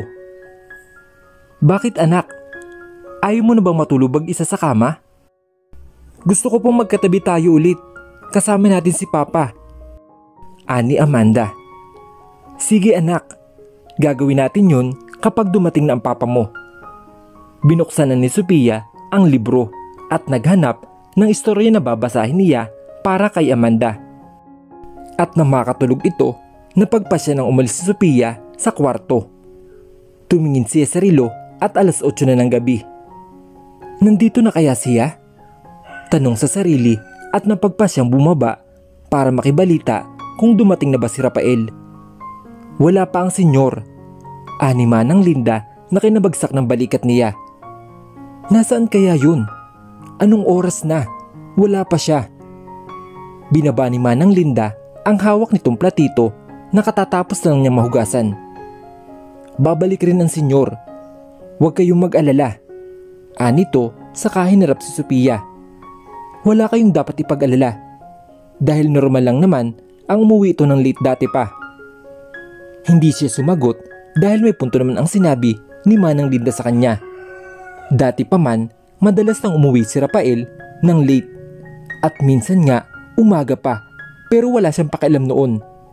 Hindi niya alam kung pranin lang ba siya ngayon dahil di talaga siya mapakali. Panay ang tingin niya sa rilo at sa pintuan sa pagbabaka sakaling nariyan na si Rafael. Pero umabot na ng alas 10 ng gabi pero wala pa rin ito. Ivan, bigla niyang hinarang ang isa sa mga tauhan ni Rafael. Pasensya na, pero may idea ka ba kung nasa ang boss ninyo? Ah, halos ka uuwi lang ni boss. Nandun na siya sa opisina niya. Ha? Saan siya dumaan? Gulat niyang tanong. Hindi ko siya nakitang pumasok sa pinto dito sa sala. Hindi po siya dito dumaan sa front door. Doon siya sa likod dumaan. Tugo nito. Nalalong pinagtaka ni Sophia. Salip na magtanong, nagpa siya na lamang siya na pumunta sa opisina ni Rafael. Wala siyang ideya kung bakit sa likuran pa ng asyenda kinakailangan itong dumaan na hindi naman ito ginagawa noon. Nang siya makarating sa tapat ng opisina, nakita niya nakaawang ng bahagya ang pintuan. Kaya di na siya nag-abalang kumatok at tuluyan ang pumasok sa loob. Madilim ang silid na kailangan niya pang buksan ng ilaw para makita kung narito ba ang taong hinahanap ang hinihintay niya mula pa kanina. Rafael! Tawag niya pero wala siya nakitang tao sa loob nito. Wala sa mesa at sa sopa. Kaya kinailangan niyang libutin pa ang buong opisina. At nakita niya itong nakaupo sa sahig at nakasandal sa isang estante. Puno ng dugo ang puting suit na suot nito dahilan para siya manlamig at binalot ng matinding takot. Agad niya itong nilapitan at natatarantang hinawakan ang magkabilang pisngi nito dahilan para imulat ni Rafael ang kanyang mga mata. Anong nangyari sa iyo? Diyos ko, halika sa ospital. Hindi niya natuloy ang sasabihin niya nang hilayan si ni Rafael at mahigpit na niyakap. Sophia. Nangihinang tawag nito sa kaniya. Pagod na ako. Hindi niya alam ang kanyang gagawin dahil sa pagkabigla.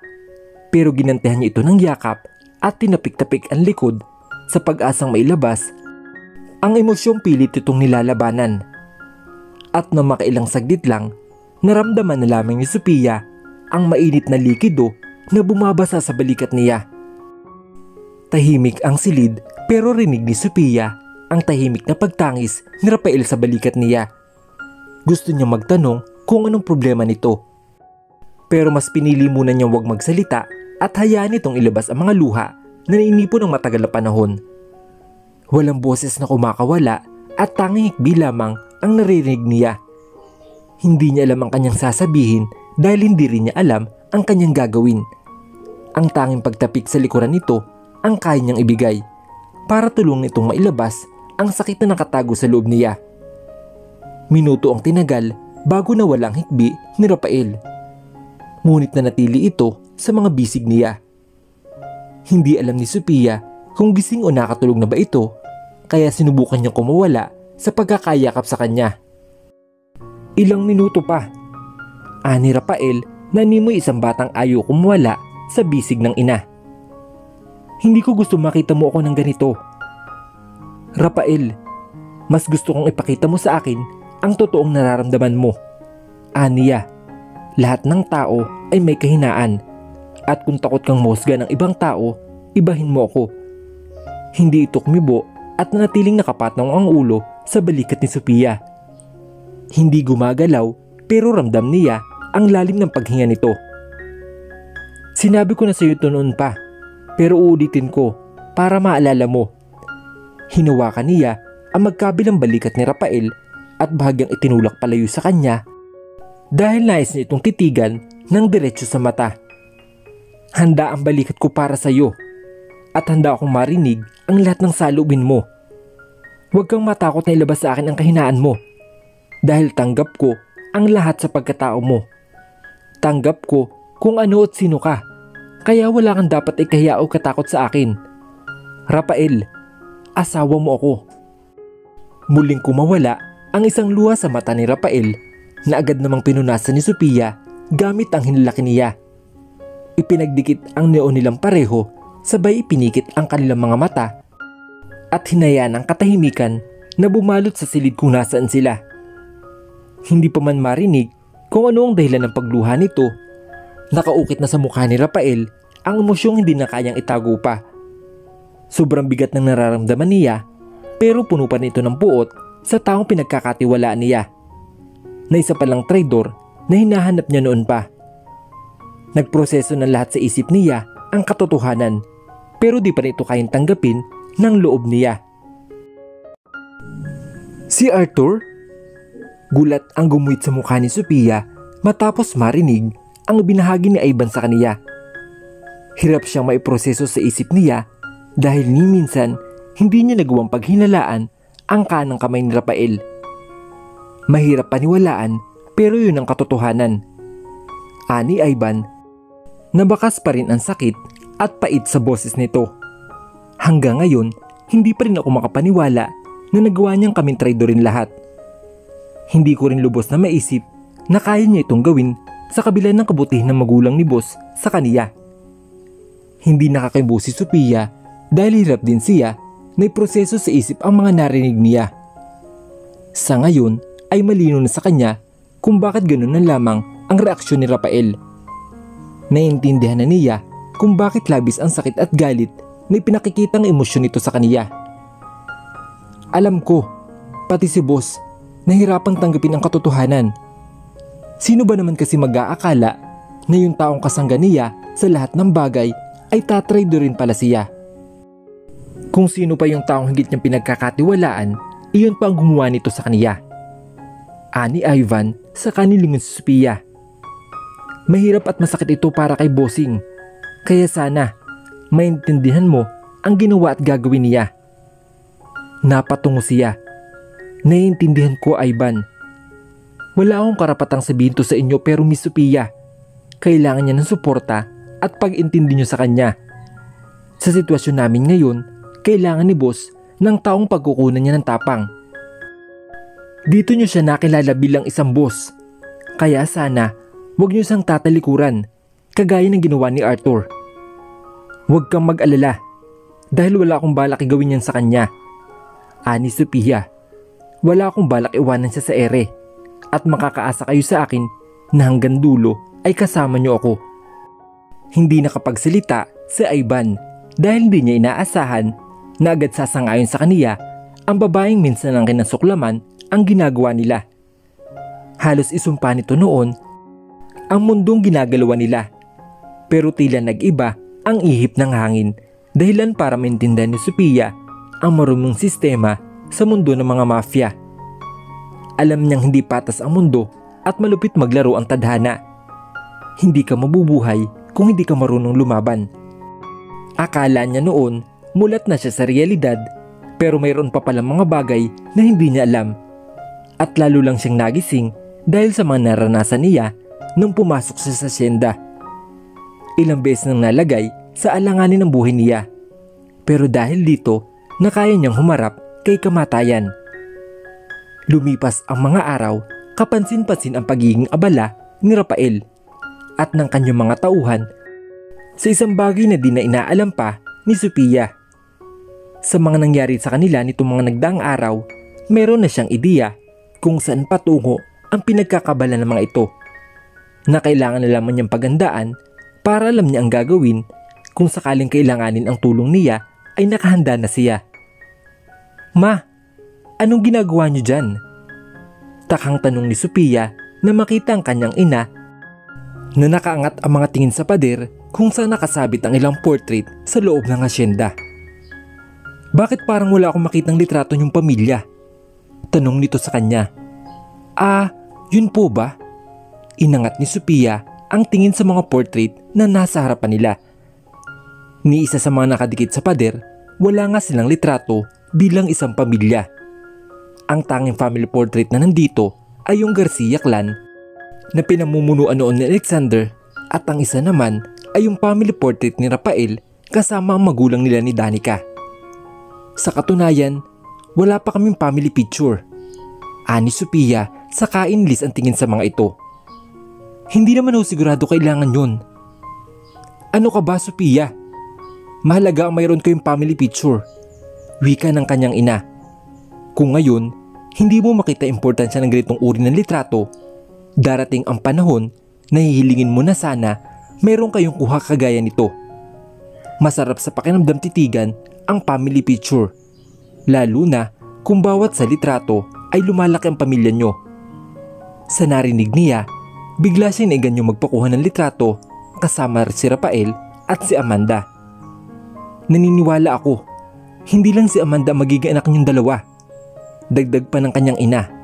At hindi na ako makapaghintay, dumating ang araw dumami ang mga apo ko at hindi magkamayaw ang pagsaway sa kanila. Bagyang napangiti si Sophia sa imahe na siyang umiiral sa isip niya.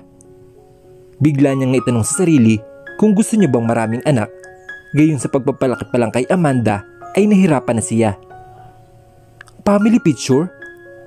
Takhang tanong ni Rafael nang madinig ang sinabi ni Sophia sa kanya.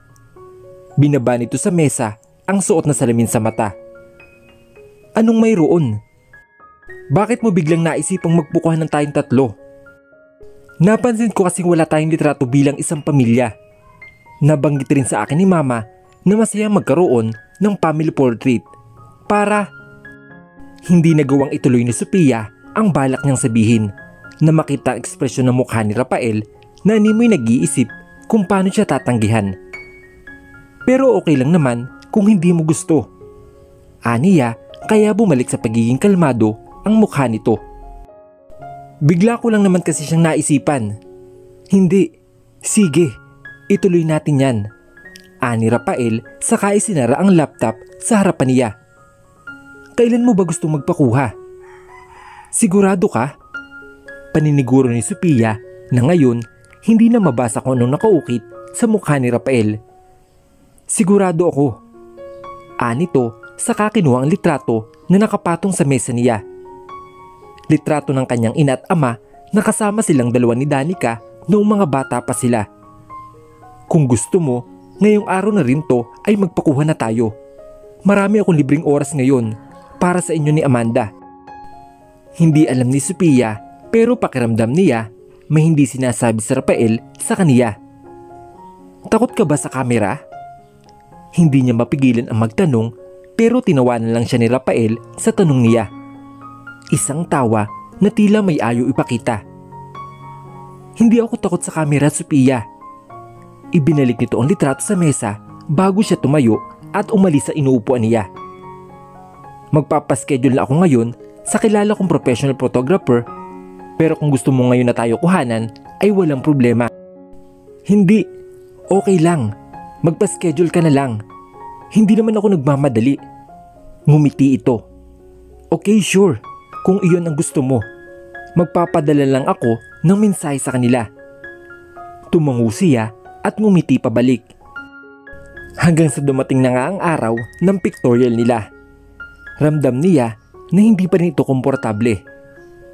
Okay guys, ready na tayo?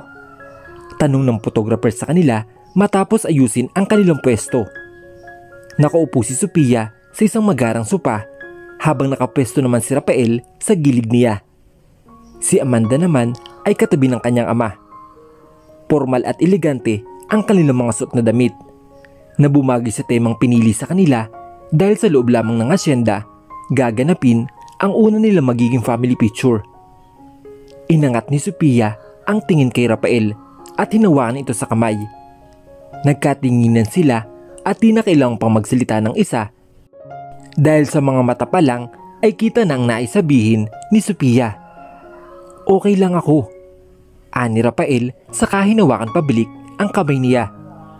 Okay, tingin na ang lahat sa kamera. In 3, 2, 1, smile! At kasabay ng pag-flash ng kamera ay ang pagbalik ng nakaraan na matagal lang kinalimutan ni Rafael. Dahil ang family portrait nila noon kasama ang magulang niya ay isang bangungot ang dinala sa kaniya. Isang bangungot na hanggang ngayon ay hinahabol siya. Wow! Ang ganda ng kuha natin. Halos mapunit na ang labi ni Sophia habang pinagmamasdan ang family portrait nila na nakasabit na sa sala ng asyenda. Nilingon niya si Rafael na hindi rin mapagkakaila sa mukha na masaya sa kanilabasan ng kuha nilang pamilya. Umaasang mapalitan na ang magandang alaala ng family portrait na meron siya ngayon. Rafael, tawag ni Sophia sa kahinawakan ang kamay niya. Ayos ka lang? Ang lalim ng niisip mo. Ayos lang ako. Mayroon lang akong naalala. Aniya saka tumingin sa suot na relo. Mayroon pang 15 minutes bago lumabas si Amanda. Sundin na natin siya. Tumango si Sophia kaya napagpasyanan nila na lumabas ng asyenda. Magkahawak ang mga kamay at parehong may ngiti sa labi na di malamang dahilan. Siya nga pala, ikaw ba? Gusto mong matutong magmaneho ng sasakyan? Tanong ni Rafael sa kalagitnaan ng kanilang biyahe patungo sa eskwelahan ni Amanda. Ah, okay lang naman sa akin. Aniya. Pero ang una ko kasing gustong matutunan noon ay ang magmaneho ng motor. Pakiramdam ko kasi ay mas madali yung pag-aralan. Depende naman sa tao. Tugon ni Rafael sa kahinawakan ang kambyo ng kotse at may ginawa ito na hindi maintindihan ni Sophia kung bakit at para saan. Sa susunod, tuturuan kitang mag-drive. Ano bang klaseng motorbike ang gusto mong paandarin? Scooter ba? Tumaas ang kili niya at di malaman kung seryoso nang aasar ba ito sa tanong sa kaniya. Chopper! Napatingin sa kaniya si Rafael na may pagtataka sa buong mukha. Seryoso ka ba? Alam mo bang itsura noon? Aba, anong tingin mo sa akin? Siyempre oo, alam ko. Tugon niya sa kabahagyang itinas ang magkabilang kamay upang imostra kung paano paandarin ang motor na nais niya. Hindi ba't ganito yun kataas? Meron kasing ganun si Papa dati. Tuturuan nga sana niya ako, kaso hindi na natuloy. Saka, di ko pa kaya yung ganung kabigat noon. Ang mapang-asar ng ngiti ni Rafael ay napalitan ng pagiging sensero matapos marinig ang rason nito. Ituloy natin. Ako ang magtuturo sa iyo. Gumuhit ang matamis ng ngiti sa labi ni Sophia at mabilis na binigyan ng isang halik ang nagmamanin ng sasakyan. I love you. Tatlong salita ngunit makapangyarihan. Kakaibang kiliti rin ang dala sa kanilang mga puso dahilan para gumuhit ang malaking ngiti sa labi ng dalawa. Hindi alam ni Rafael kung paano siya makakabawi dahil ang buong atensyon niya ay nasa pagmamaneho ng sasakyan. Pero hindi naman siya papayag na ganoon lang matapos iyon kung kaya't itinabi niya muna ang kotse sa gilid ng kalsada. Mabilis inalis ang seatbelt niya at sabik na tinugunan ang ginawa sa kanya ni Sophia. Ah, Manang Linda, pwede ko po ba kayo makausap? Nakangiting tanong ng ina ni Sophia sa matandang kasambahay. Ngayon lamang siya nakahanap ng tamang pagkakataon para ito'y makausap. Ah, tungkol saan? Tanong nito saka itinigil ang ginagawang paghihiwa sa karne na siyang lulutuin nila para sa hapunan. Tungkol ho saan ako? Kay Sophia. Naupo siya sa silyang malapit sa kinatatayuan ni Manang Linda. Gusto ko lang ho sana magpasalamat dahil nakwento sa akin ng anak ko na kayo ang gumubay sa kaniya noong mga panahong nagbubuntis siya. Kayo rin ang nagturo sa kanya para maging isang mabuting ina na hindi ko nagampanan sa kaniya. Maraming salamat dahil hindi niyo siya pinabayaan. Ngumiti ito sa kanya bago pinagpatuloy ang ginagawa niya. Alam mo, hindi mo kailangang magpasalamat sa akin dahil tungkulin ko yun bilang tagapagsilbi sa pamilyang ito. Ginawa ko lang ang trabaho ko. Pero masaya akong nakatulong sa kanya. Pero gusto ko pa ho kayong pasalamatan. Ani ng kanyang ina. Marami akong pagkukulang kay Sophia. Aminado ako doon. Hindi ako naging mabuting ina at magulang sa kaniya nung nasa poder ko pa siya. Napabayaan ko siya at nagsisisi ako dahil wala ako sa tabi niya noong panahong kailangan niya ng alaga at gabay. Dismayado ako sarili ko. Pero makakabawi ka naman sa kanya ngayon, hindi ba? Muli siyang tiningnan ni Manang Dinda. Dalawa na silang aalagaan mo at yung mang hindi mo na ituro sa anak niya noong kabataan niya ay maaari nung ituro sa apo mo habang lumalaki siya. Masusubaybayan mo ang paglaki niya at sa pamamarang iyon makakabawi ka na sa kanila. Napangiti ang kanyang ina. Tama kayo. Hindi ko dapat sayangin ang tsangsang binigay sa akin ng anak ko. Kung hindi ko nagampanan na maayos ang pagiging isang ina sa kaniya, babawi ako sa pagiging lola. Manang Linda, Manang Linda. Napatingin sila sa isang kasambahay na nagmamadaling lumapit sa gawi nila. Mayroon ho tayong bisita sa sala. Narito po si Senyor Lawrence. Nagsalubong ang kilay ni Manang Linda. Saka itinigil ang ginagawa niya. Napapadala siya at ang bigla ang pagbisita ng senyor dito. Anito bago buksan ang giripo at naghugas ng kamay. Ikaw na muna ang magtuloy ng paghihiwa ng karne. Ako na ang bahala na mag-asikaso sa kaniya. Nagmadaling umalis si Manang Linda.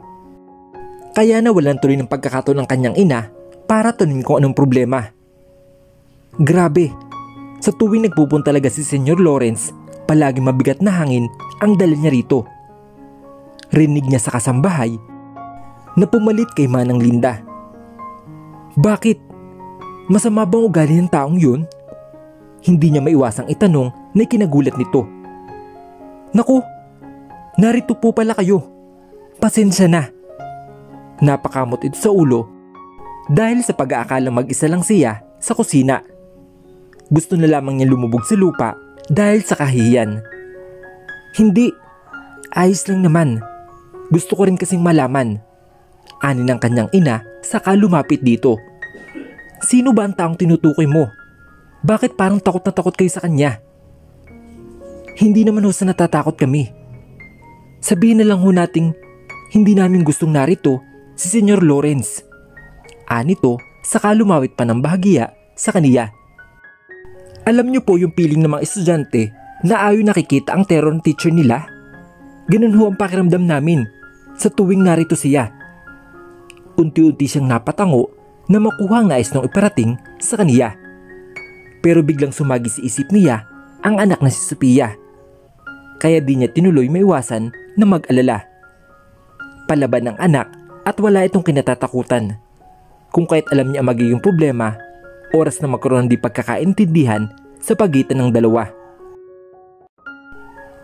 Maganda naman ang mood ni Sophia kanina nang umalis sila para sundin sa eskwelahan si Amanda. Pero nawala ito dahil sa pag-uwi nila sa asyenda. Mayroon palang bisita na kahit kailan ay hindi niya gustong nakikita. Mabigat ang pakiramdam niya sa tuwing narito ang taong ito sa asyenda na hindi niya batid kung ano ang dahilan. Mayroon ka bang nais sabihin sa akin? Tanong ni Lawrence sa kanya dahil kanina pa nitong nararamdaman ang matalim na tingin na ibinibigay niya. Ah, wala naman ho. Aniya, gamit ang mahinahong boses saka ito binigyan ng isang peking ngiti.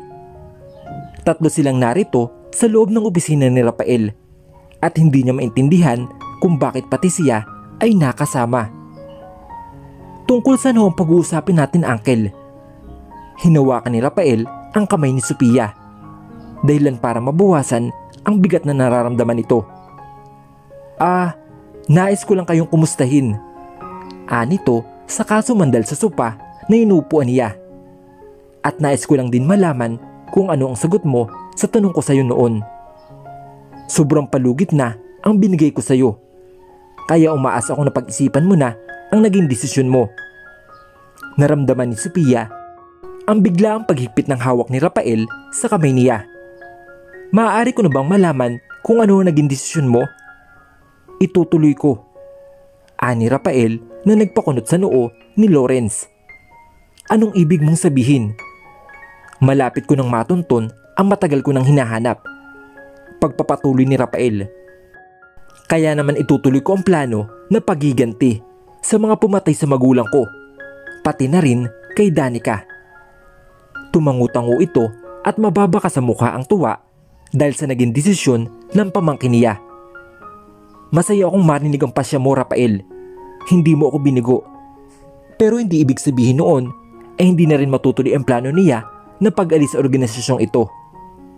Ani Sophia dahilan para unti-unting maglaho ang ngiti sa labi ni Lawrence at umaasa kaming respetuhin ninyo ang bagay na yun.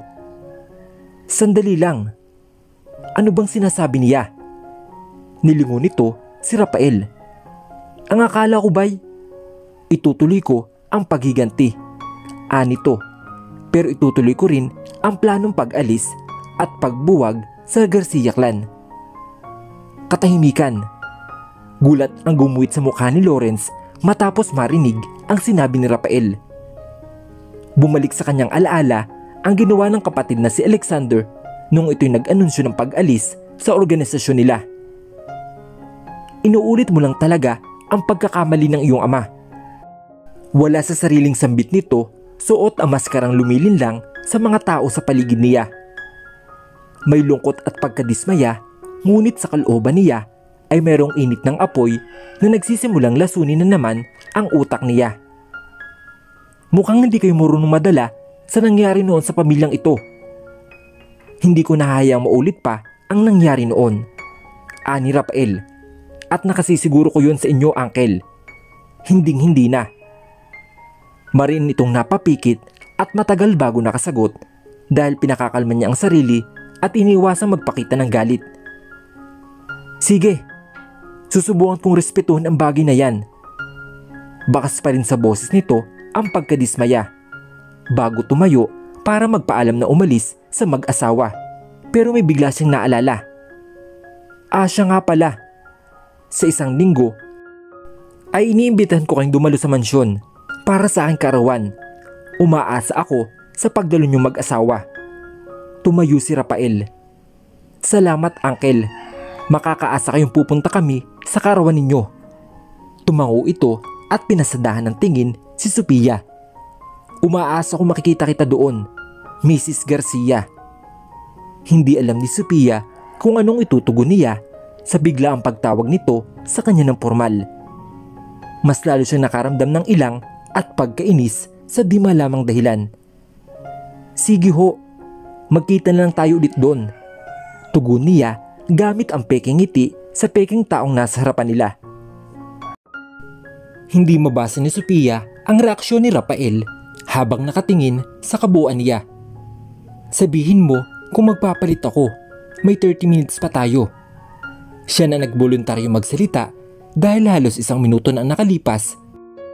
Pero wala pa rin komento sa suot niyang kulay pulang mini dress na may slit ng kaunti sa kanang bahagi ng hita niya. Humarap siya sa lamin para pagmasan ang sarili at sinuri kung mayroon bang hindi kaaya-aya sa kanyang hitsura. Ang kanyang buhok ay hindi na niya masyadong inayos. Hinayaan na lamang na ito na bagsak at nakalugay. Ginawa lang din niyang natural ang makeup para iwasan ang pahirapan sa pagtanggal nito mamaya. Isang birthday party ang dadaluhan nila ngayon at wala siyang ideya kung sino-sino makakasalamuhan niya dahil itong unang pagkakataon na dadalo siya sa isang okasyon na may kaugnayan sa mga Garcia. Hindi siya masyadong pamilyar sa angkan ni Rafael pero alam niyang hindi lang basta birthday party ang dadalo niya. Kung kaya naman kahit papaano, nag-ayos siya para maging presentable sa harap ng iba. Huwag na tayong tumuloy. Napatingin siya kay Rafael dahil sa kanyang narinig. Nagsimula ito magtanggal ng mga botones sa suot na long sleeve polo at sumunod ay ang pag-alis ng belt dahilan para makuha agad ni Sophia ang pinararating nito sa kanya. Ano ka ba? Umayos ka nga. Mabilis niyang nilapitan si Rafael para pigilan. Para kang sira Malilate na tayo. Halika na. Pwede namang hindi na lang tayo tumuloy. Ani Rafael sa kahinapit ang kanyang bewang. Masyado kang maganda ngayon. Kaya kasalanan mong nalagay tayo sa alanganin. Ayoko lumabas. Dito na lang tayo sa kwarto magdamag. Bahagyang natawa si Sophia sa kakaibang pamamara nito para purihin siya. Handa na sanang lumapat ang labi nilang dalawa nang biglang bumukas ang pinto ng kwarto. Mama, sama ako. Boses ni Amanda na kanina pa nagwawala sa labas dahil gusto nitong sumama sa lakad nila. Agad na lumayo sa isa't isa ang dalawa. At naglakad palayo si Rafael sa kinatatayo niya para ayusin ang sarili bago harapin ang anak niya. Anak, babalik din kami agad ni Papa okay? Malayo kasi yun. Tsaka hindi pwede ang bata doon. Ani Sophia. Pero lalo lang nagwala ang anak nila at nagtatakbo patungo naman sa kanyang ama. Papa, sasama po ako sa inyo. Ayaw po kasi akong isama ni mama. Pagsusumbong nito habang sumisinok-sinok pa dahil sa pag-iyak nito mula pa kanina. Binuhat ni Rafael ang kanyang anak. Bukas aalis tayo Saan mo ba gustong pumunta? Ayoko po. Gusto ko ngayon na. Anito na patuloy pa rin sa pag-iyak at pakiusap na siya isama. Nagkatinginan ang dalawa. Hindi alam kung anong gagawin nila at paano patatahanin si Amanda. Hindi nila ito maaaring isama dahil sigurado sila na walang bata sa pupuntahan nilang okasyon. Mabuburyo ito at posible magyaya agad pa uwi. Buong akala niya ay lalo silang matatagalan sa pag-alis.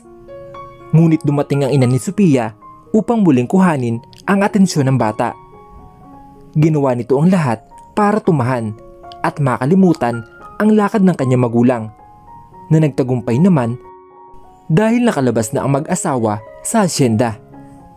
Mas mahirap pala to. Ani Rafael na makasakay na sila sa sakyan. Nagsimula nitong buhayin ang makina ng kotse hanggang sa unti-unti sila na makalabas ng garahe. Ang alin? Tanong ni Sophia. Ah, ito. Mas mahirap takasan ng anak kaysa sa mga pulis na humahabol sa akin noon. Napangiwi siya at hindi mapigilan ang hindi matawa. Hirap ka na kay Amanda. Paano kaya kung madagdagan na siya? Bulong niya. Saka kinabit ang seatbelt sa kanya. Ano? Alin ang madadagdagan? Takhang tanong ni Rafael, ngunit ipinagkibit balikat na lamang ito ni Sophia. Sapagkat wala pang kumpirmasyon sa hinala niya. Nang sila'y makarating sa lugar ni Lawrence, halos lumuwa ang mata ni Sophia dahil sa laki at lawak at ganda ng mansyon na inaapakan nila. Hindi nalalayo ang itsura at estilo ng asyenda na animoy isang palasyo na tinitira ng mga maharlikang pamilya. Halos lahat ba ng Garcia ay ganito kalaki ang mga bahay? Hindi niya maiwasang itanong habang patuloy na nililibot ng tingin ang paligid nila. Marami ng tao at karamihan sa mga nakikita niya ay mga kilalang personalidad. Lahat ng bisita ay hindi lang isang simpleng mamamayan na naisipan lang imbitahan. Ang lahat ng tao dito ngayon ay may mga pangalan na alagaan at may mga organisasyon na kinabibilangan. Ah, karamihan. Ani Rafael sa kahinapit ang baywang ni Sophia palapit sa tabi niya na makita ang kanyang tiya na palapit sa gawin nila. Rafael Garcia ang nakatimbati ng isang matandang babae sa kaniya. Halos puno ito ng kumikinang naalahas sa katawan. Na ultimo pati ang mahoko sa daliri nito ay mayroong diamante. Matagal-tagal na rin simula nung huli tayo nagkita. Kumusta ka? Ah, kagayang nakikita nyo.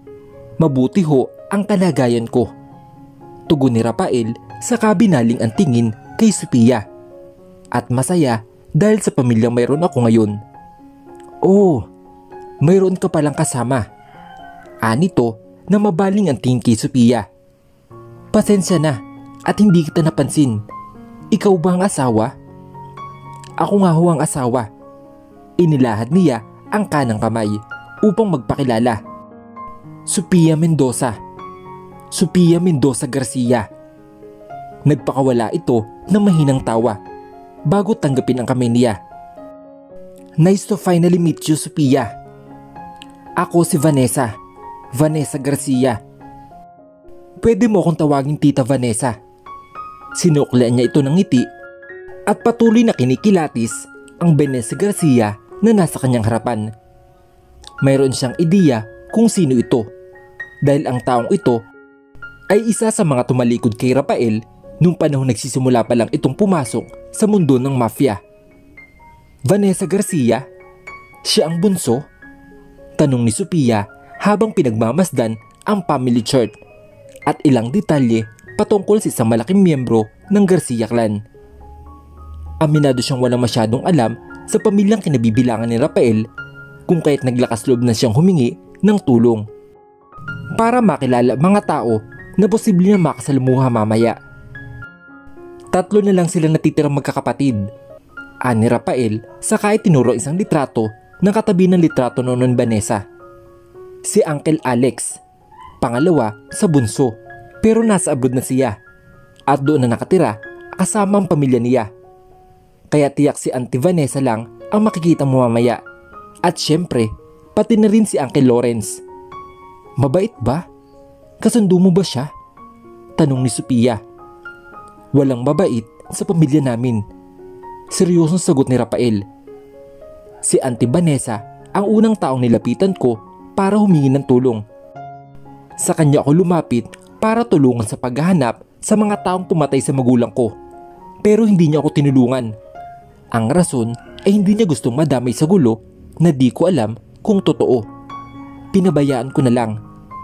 Hindi agad nakakibo si Sophia at binalik ang tingin sa tablet na hawak niya. Kung ganoon, ang Uncle Lawrence mo lang ang tanging taong tumulong sa iyo para makapasok sa mundong ito? Ganoon na nga. Malaki ang naitulong niya sa akin simula pa lang. Dahil din sa kanya, kaya lumakas ulit ang pangalan ng Garcia. Ani Rafael.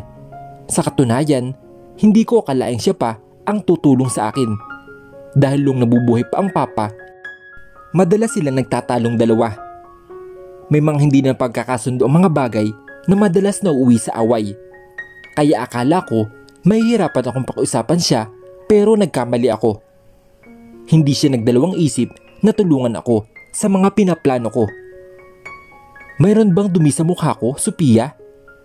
Nabalik sa realidad nang marinig ang tanong ni Vanessa na nakahawak sa kanyang mukha.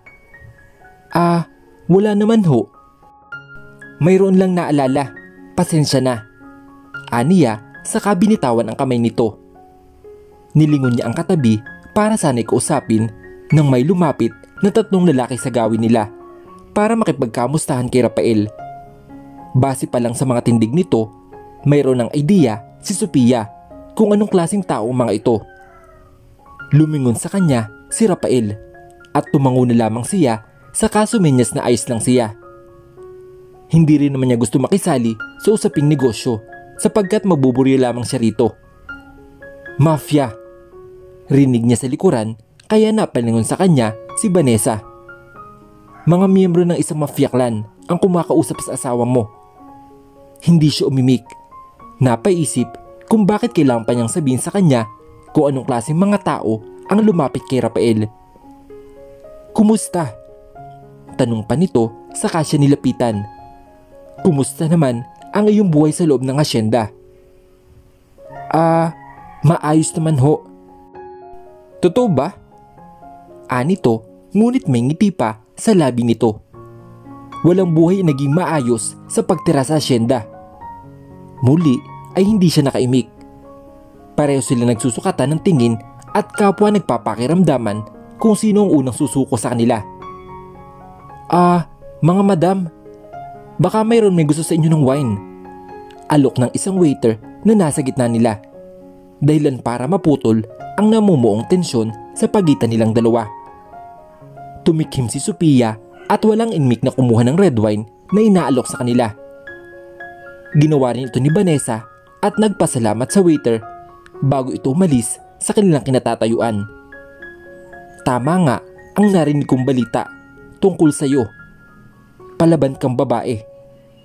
Hindi na rin nakapagtataka at ikaw ang napiling mapangasawa ni Rafael. Anito sa kasumimsim sa hawak nitong red wine. Kailangan niya ng kagaya mo. Kailangan niya ng taong matapang para may pagkunan siya ng lakas ng loob sa bawat problema o suliraning dumating sa kanya. Hindi niya matukoy kung anong nais itong operating sa kaniya, subalit hindi niya pinakitang naapektuhan siya sa narinig niya. Mag-asawa kami, kaya natural lang ho sigurong kumuha kami ng lakas sa isa't isa. Aniya saka tumingin sa gawin ni Rafael. Sabihin na ho nating naging impyerno ang buhay ko nung tumira ako sa asyenda pero naging matatag naman ako dahil sa mga naranasan kong hirap sa poder niya. Kagaya ng kagaya ng pagtitiwala sa mga taong nasa paligid mo. Minsan kasi, yung inakala ko nating kaibigan nating maaasahan ay kaya rin tayong pagtaksilan. Aniya sa kaso mimsim sa wine na hawak niya. At narealize ko rin na minsan, kahit gaano ka pabuti sa mga taong nasa paligid mo, ay pwede ka pa rin traidorin ng mundo. Kita sa mukha nito ang pagsang-ayon. Dahilan para ipagpatuloy niya ang gusto niyang sabihin. Pumasok ako sa mundo ni Rafael na alam kong alam ko na ang lahat. Ang akala ko ay naranasan ko na kung gaano kalapit sa akin ang mundo. Pero may mas malala pa pala sa mga naranasan ko. Tumingin siya sa paligid niya at halos lahat ng mga bisita ay mayroong mga sariling mundo upang pag-usapan ang mundo ng negosyo. Hindi tumitingin ang problema sa estado ng buhay ng tao. May mga pagkakataon talaga na susubukan ka para makita kung gaano kakalakas. Sa kaso namin, napatunayan kung walang mangyayari sa iyo kung hindi ka marunong lumaban dahil iba maglaro ang kapalaran. Bravo! Bagya siyang nagulat na makita ang pagpalapak sa kaniya ni Vanessa. Pinahanga mo ako sa sinabi mo. Hindi ko akala ay magiging bukas ka sa mundong kinagagalawan mo. Nagsalubong ang kilay niya at bago pa siya makapagsalita, naramdaman niya ang pag-vibrate sa loob ng pouch na hawak niya. Ah, excuse me. Paalam niya bago kuhanin ang cellphone sa loob. At nang makita ang pangalan ng kanyang ina na tumatawag sa kanya, ay lumayo siya at naghanap ng lugar kung saan hindi maingay. Sophia, naririnig mo ba ako? Hello? Anito sa kabilang linya. Naririnig ko po kayo. Bakit po ma? May problema po ba dyan? Tanong niya nang bagyang makalayo sa venue. Ah, wala naman anak. Gusto ko lang masigurong nakarating kayo sa lugar na pinuntahan yung mag-asawa. Kanina ko pa kasing hinihintay ang text mo. Mukhang nalimutan mo yata. Nasa po siya sa kanyang noo. Ah, wala po sa isip ko. Sorry po ma. Ayos lang anak. Ang importante ay ligtas kayo nakarating dyan. Anito. O siya sige na. Mag-enjoy kayo dyan. Tulog na si Amanda. Kayang walang makukulit sa inyo pag uwi ninyo. Ngumiti siya. Ah sige po, matulog na rin po kayo. Siguradong late na rin kami makakauwi mamaya dahil hindi pa halos nagsa-start ang party. Good night po ma. Ah ganoon ba? Siya sige, ingat na lang sa pag-uwi nyo mamaya.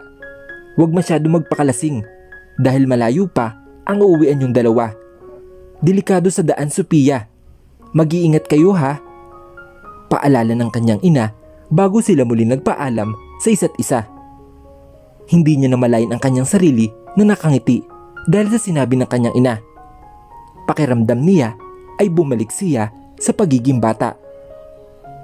Ibinilik na niya ang cellphone sa loob ng pouch at nakahanda na sana bumalik sa venue nang may humila sa kamay niya.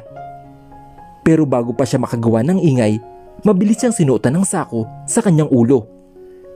Sinubukan niyang wag magpumiglas pero naramdaman niyang may tumutusok sa braso niya. Dahilan para makaramdam siya ng pagkahilo at unti-unti nagdidilim ang kanyang paningin.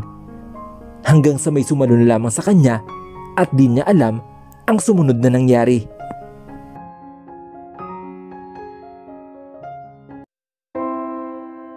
Paano pag nalaman ni Rafael na ang kanyang tiyuhin ang mismong pumatay sa kanyang ama at patuloy na nagpapahirap sa mundong kinalakihan niya.